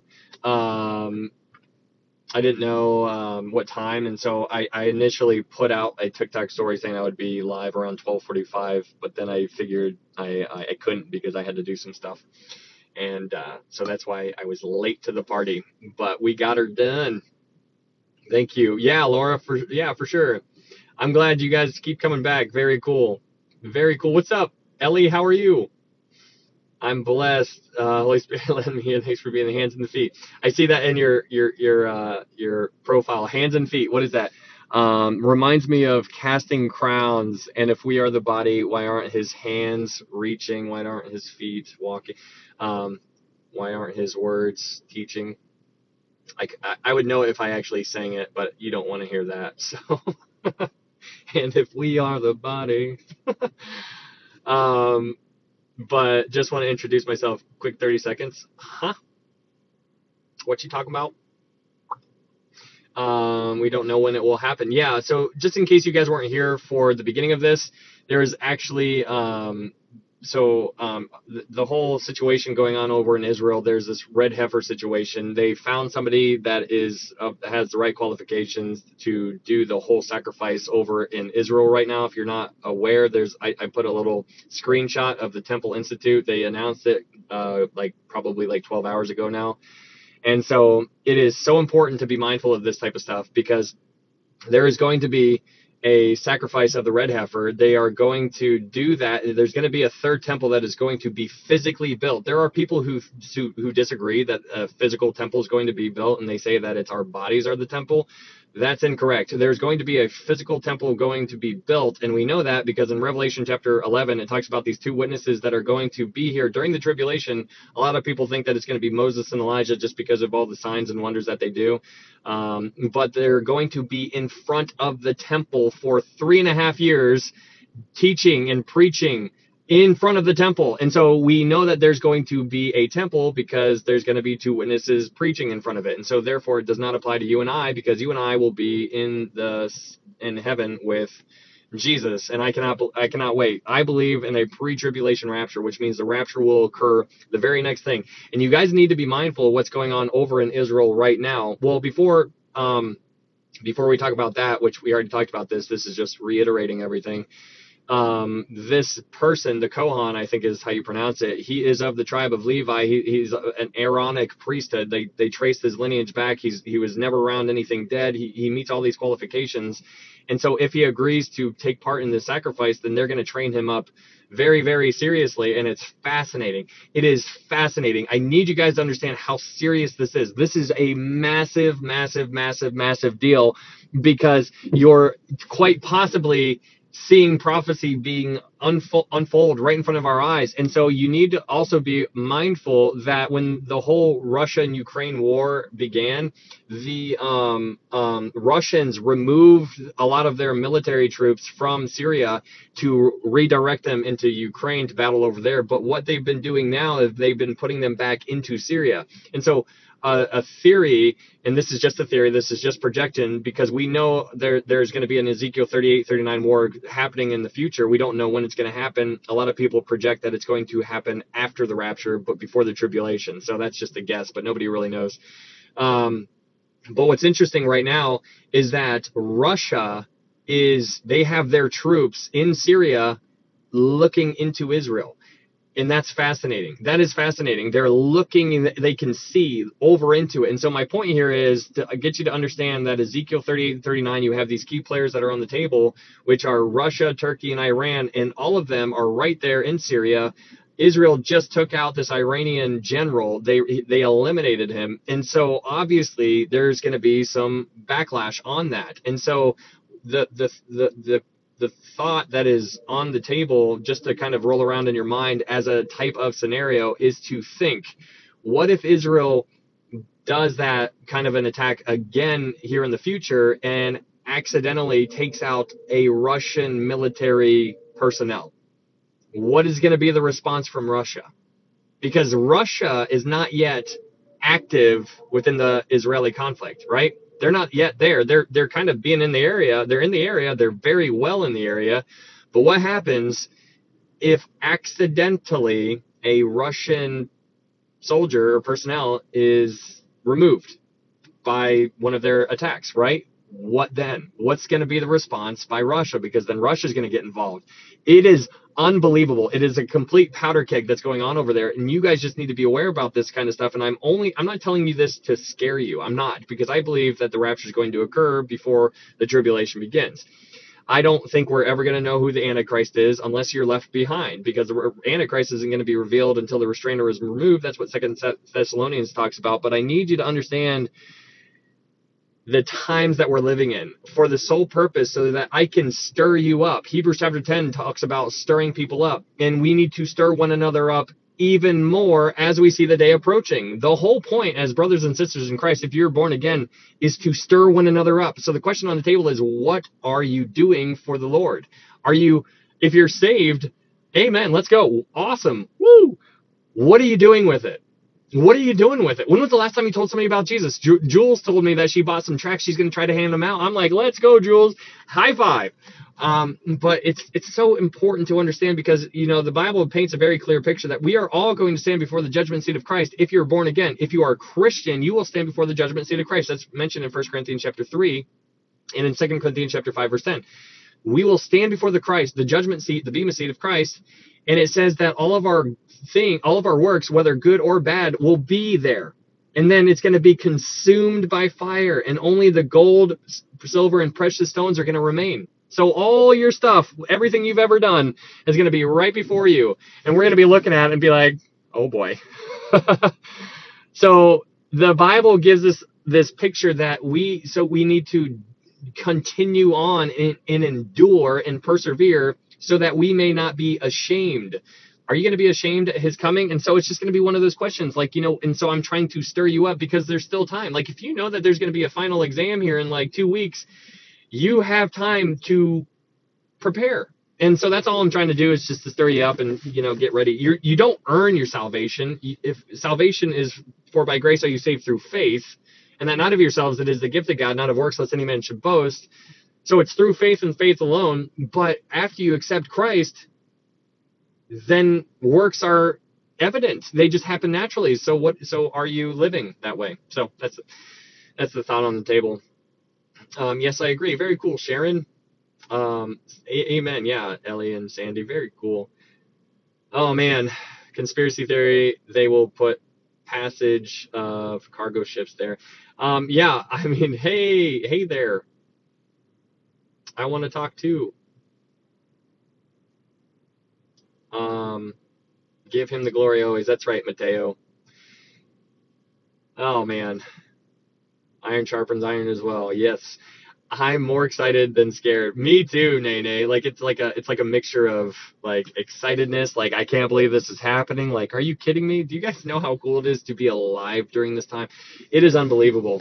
It is unbelievable. And it makes me want to go redo Revelation just because I feel like we're living it. But me, you know, Ezekiel would be kind of fun too, just because of Ezekiel 38, 39. But we would have to do the whole book and then you guys, so it's funny because there, um, people were wanting me to do Isaiah, and um, I actually was starting to dive into it today, and then I was just like, nope. so I it is just so intimidating. It is so intimidating for me. I don't know why it is. We'll get there eventually. I just am gonna need some time to prepare for that because I gotta get my mind wrapped around it. It was just so funny for me to look at yeah, I thought of you, Jules, because I know you want to go through Isaiah. But I, I quite literally I was like, okay, here we go. And I was like, Nope, not right now. It's not it's it's not um it's not time yet. Oh, yeah, okay, so uh, that's my uh, YouTube. If you guys wanted to go look it up, TT replays on YT. So TikTok replays on YouTube, and there's a YouTube link up in my TikTok profile. If you guys wanted to go subscribe over there, because I don't have any other social media. So if I get banned on here, then we'll at least be able to hang out still on YouTube, or if they ban YouTube.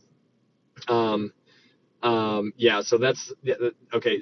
Zephaniah. Oh, Zephaniah. I mean, they're all good. You know, I just it's just really intimidating because it's 66 uh, chapters. I mean, that's so much time and that's so much energy and it takes a lot. Like it, it, it, takes me like there's times like where it takes me like six hours to go through to get ready for this. So when we go through a four hour live session, like it's, it, there's a lot that goes on behind the scenes, but, um, yeah. Did you want to come up, Christian? Yeah, you can, you can come up for a, a minute. I'll, I'll let you come on up.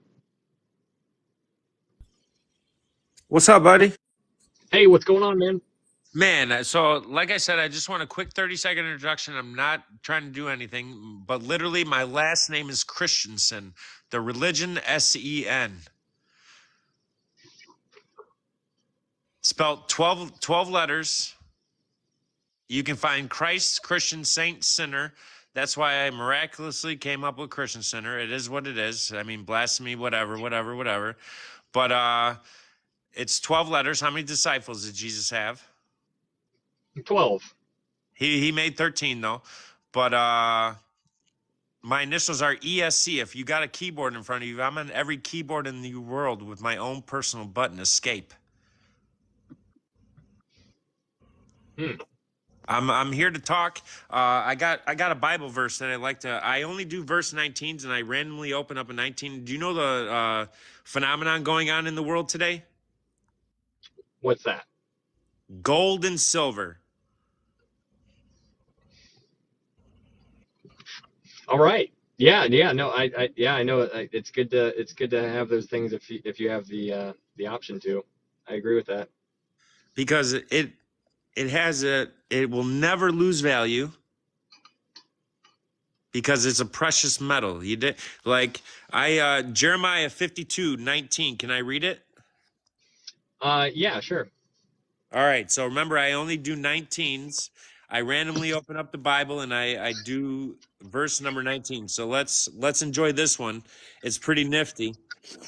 Uh, and the basins and the fire pans and the bowls and the cauldrons and the candlesticks and the spoons and the cups, that which was gold and gold, and that which was silver and silver, took the captain of the guard away. Isn't that cool? Like he was getting like literally robbed or something. Yeah, yeah, man. That that is that is cool. Um, what's your name? My name is Eric Christensen. Eric. Eric. All right, cool, cool, man. Well, um, I appreciate you coming up. Um, um, if you feel if you feel like continuing talking, you can shoot me a message here on TikTok. my my messages are open for anybody and ever everybody. So, um, that is uh, that is definitely an option for you. But I appreciate you coming up, man. Hell yeah, or heck yeah, brother. okay. All right. See you, buddy. Thank you, man. Yep.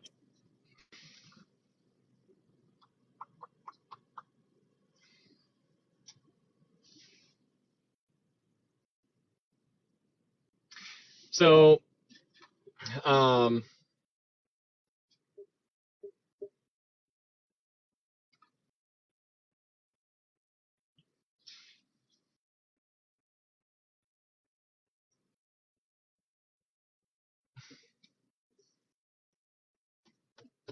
so yeah, I just I just wanted to uh, just stir you guys up, hopefully. Um, um, stir you guys up, stir you guys up. Uh, that verse, if you guys were interested, is is found in Hebrews chapter 10, and I'll read it again just because I think it's so so important to our day in uh, Hebrews chapter 10 verse 24. Hebrews chapter 10 verse 24 is 24. Hebrews 10 24 says, "And let us consider one another in order to stir up love and good works." Not forsaking the assembling of ourselves together, as in the manner of some, but exhorting, exhorting means to encourage, but encouraging one another, and so much the more as you see the day approaching. And I feel personally, it's my own personal opinion, I believe we are seeing the day approach. I see it's approaching right now and it is super close and it's so interesting. And so just be mindful of this. There are people who say, oh, people have been saying it's the end of the world for centuries. And they're right. They have been saying that. But the difference is, is that it was never applicable back during their time because of what Revelation 13 implies. In Revelation chapter 13, it talks about how there's going to be two beasts. You have the, the beast and the, the false prophet. And it says that no one will be able to uh, buy or sell unless they have the mark of the beast.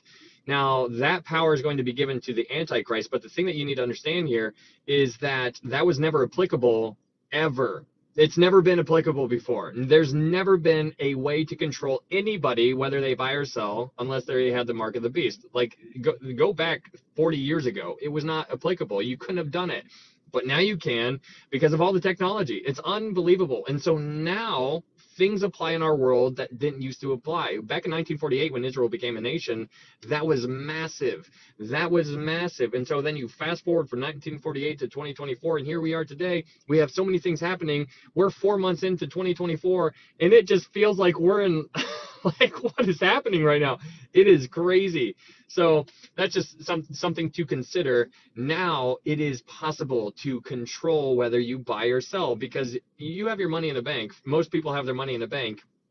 It's just ones and zeros, ones and zeros, zero zero one one one zero zero zero, like ones and zero. It's digital, and so uh, we, we're living in this digital type of world. And so when you understand the, the implications of everything that is mentioned in Revelation, the book of Revelation, which is completely eschatological, it's prophetical, it is good to know these things so that you can kind of kind of gauge which way you're leaning as far as like where we're le- where, where we are in the prophetic timeline.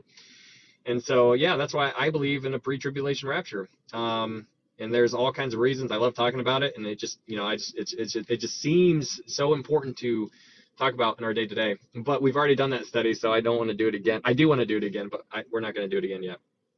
Um, binary, yeah, Candy, CBDCs, absolutely, Ellie. Um, Why are you in the car all the time, bro? Um, how do you know I'm in the car all the time? You don't even follow me. What's your name? Yo, you Reich. um, just because I can be really loud in here. All glory to God. Gotta go. Um, thank you, G Mommy, for being here. I appreciate it. Um, some people are saying Christ has already returned. It's all done. That is completely wrong, Jules. Yeah, I know it's crazy. That is completely wrong. It scares me if we do go through the tribulation. Well, um, it's not going to change. This is why you need to understand what you believe, know what you believe now, um, build yourself up. And, um, you know, the people in Thessalonica, they thought that they were going through it. And so that's why they were, hey, thank you, Chris um, they thought that they were going through it. That's why they were freaking out. They stopped working. They're like, you know, the day of the Lord. That's why Paul had to write to them again and encourage them. But um, they are not children of the night. They are children of the day. There's the complete compare and contrast there, night and day type situation. Um, but yes.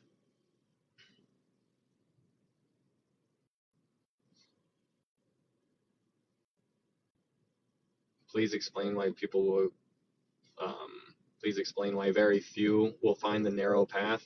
That's really interesting. I don't know. Um, you know, it's a it's it's an interesting verse, but you know, it says men will be lovers of themselves.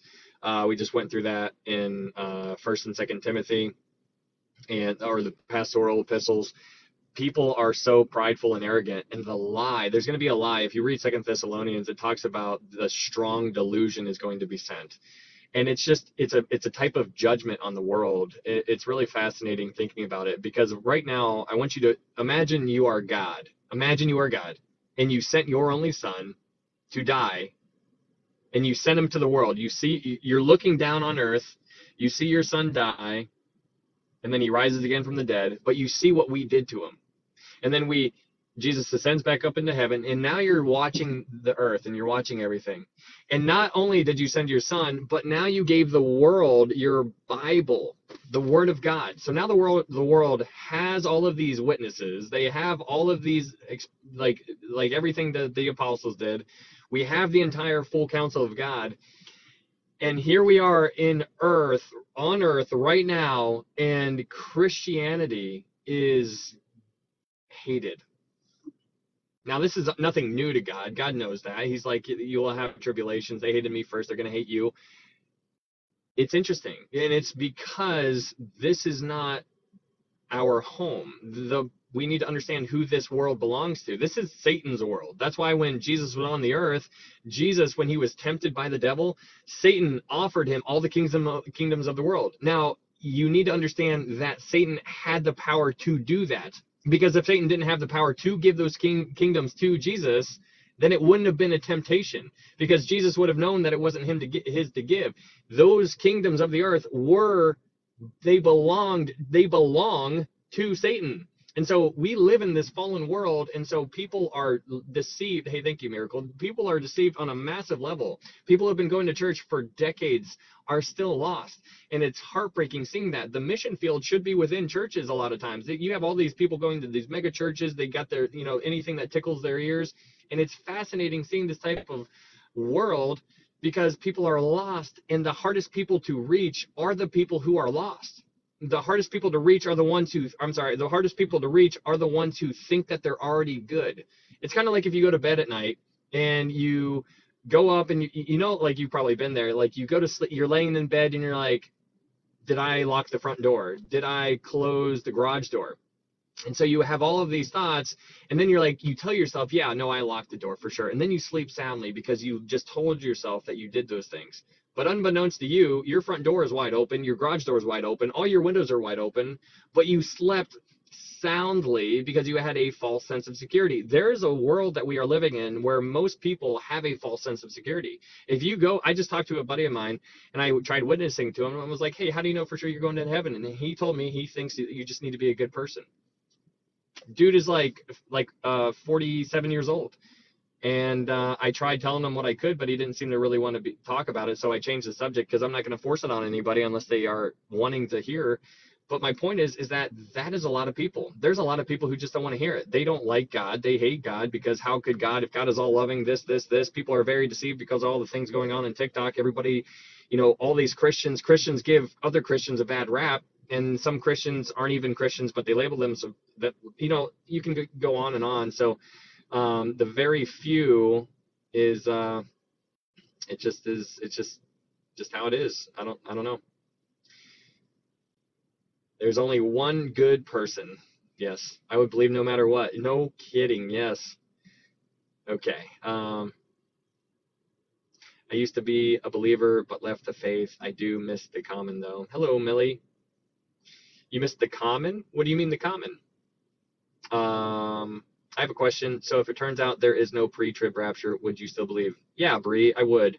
Um, I would because um, there th- this is that's a secondary issue.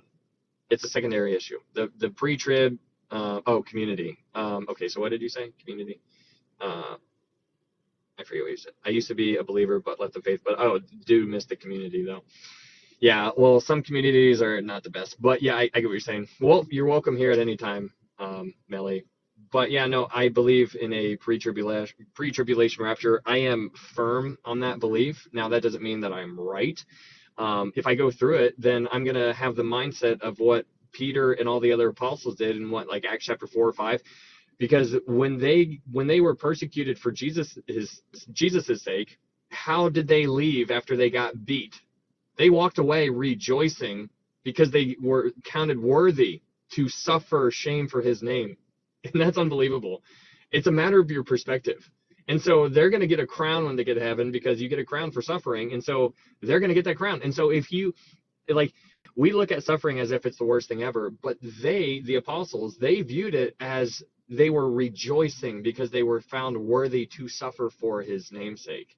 And we need to remember who we're dealing with here. We are dealing with God Almighty. And it is crazy when you think about that. Like, he is everything, he dwells in unapproachable light. Like, that's who we're talking about here that's God who sent his son to die for me. And I'm just like, I am the worst person ever. Did you know that God had to separate himself from Adam and Eve when Eve just took a bite?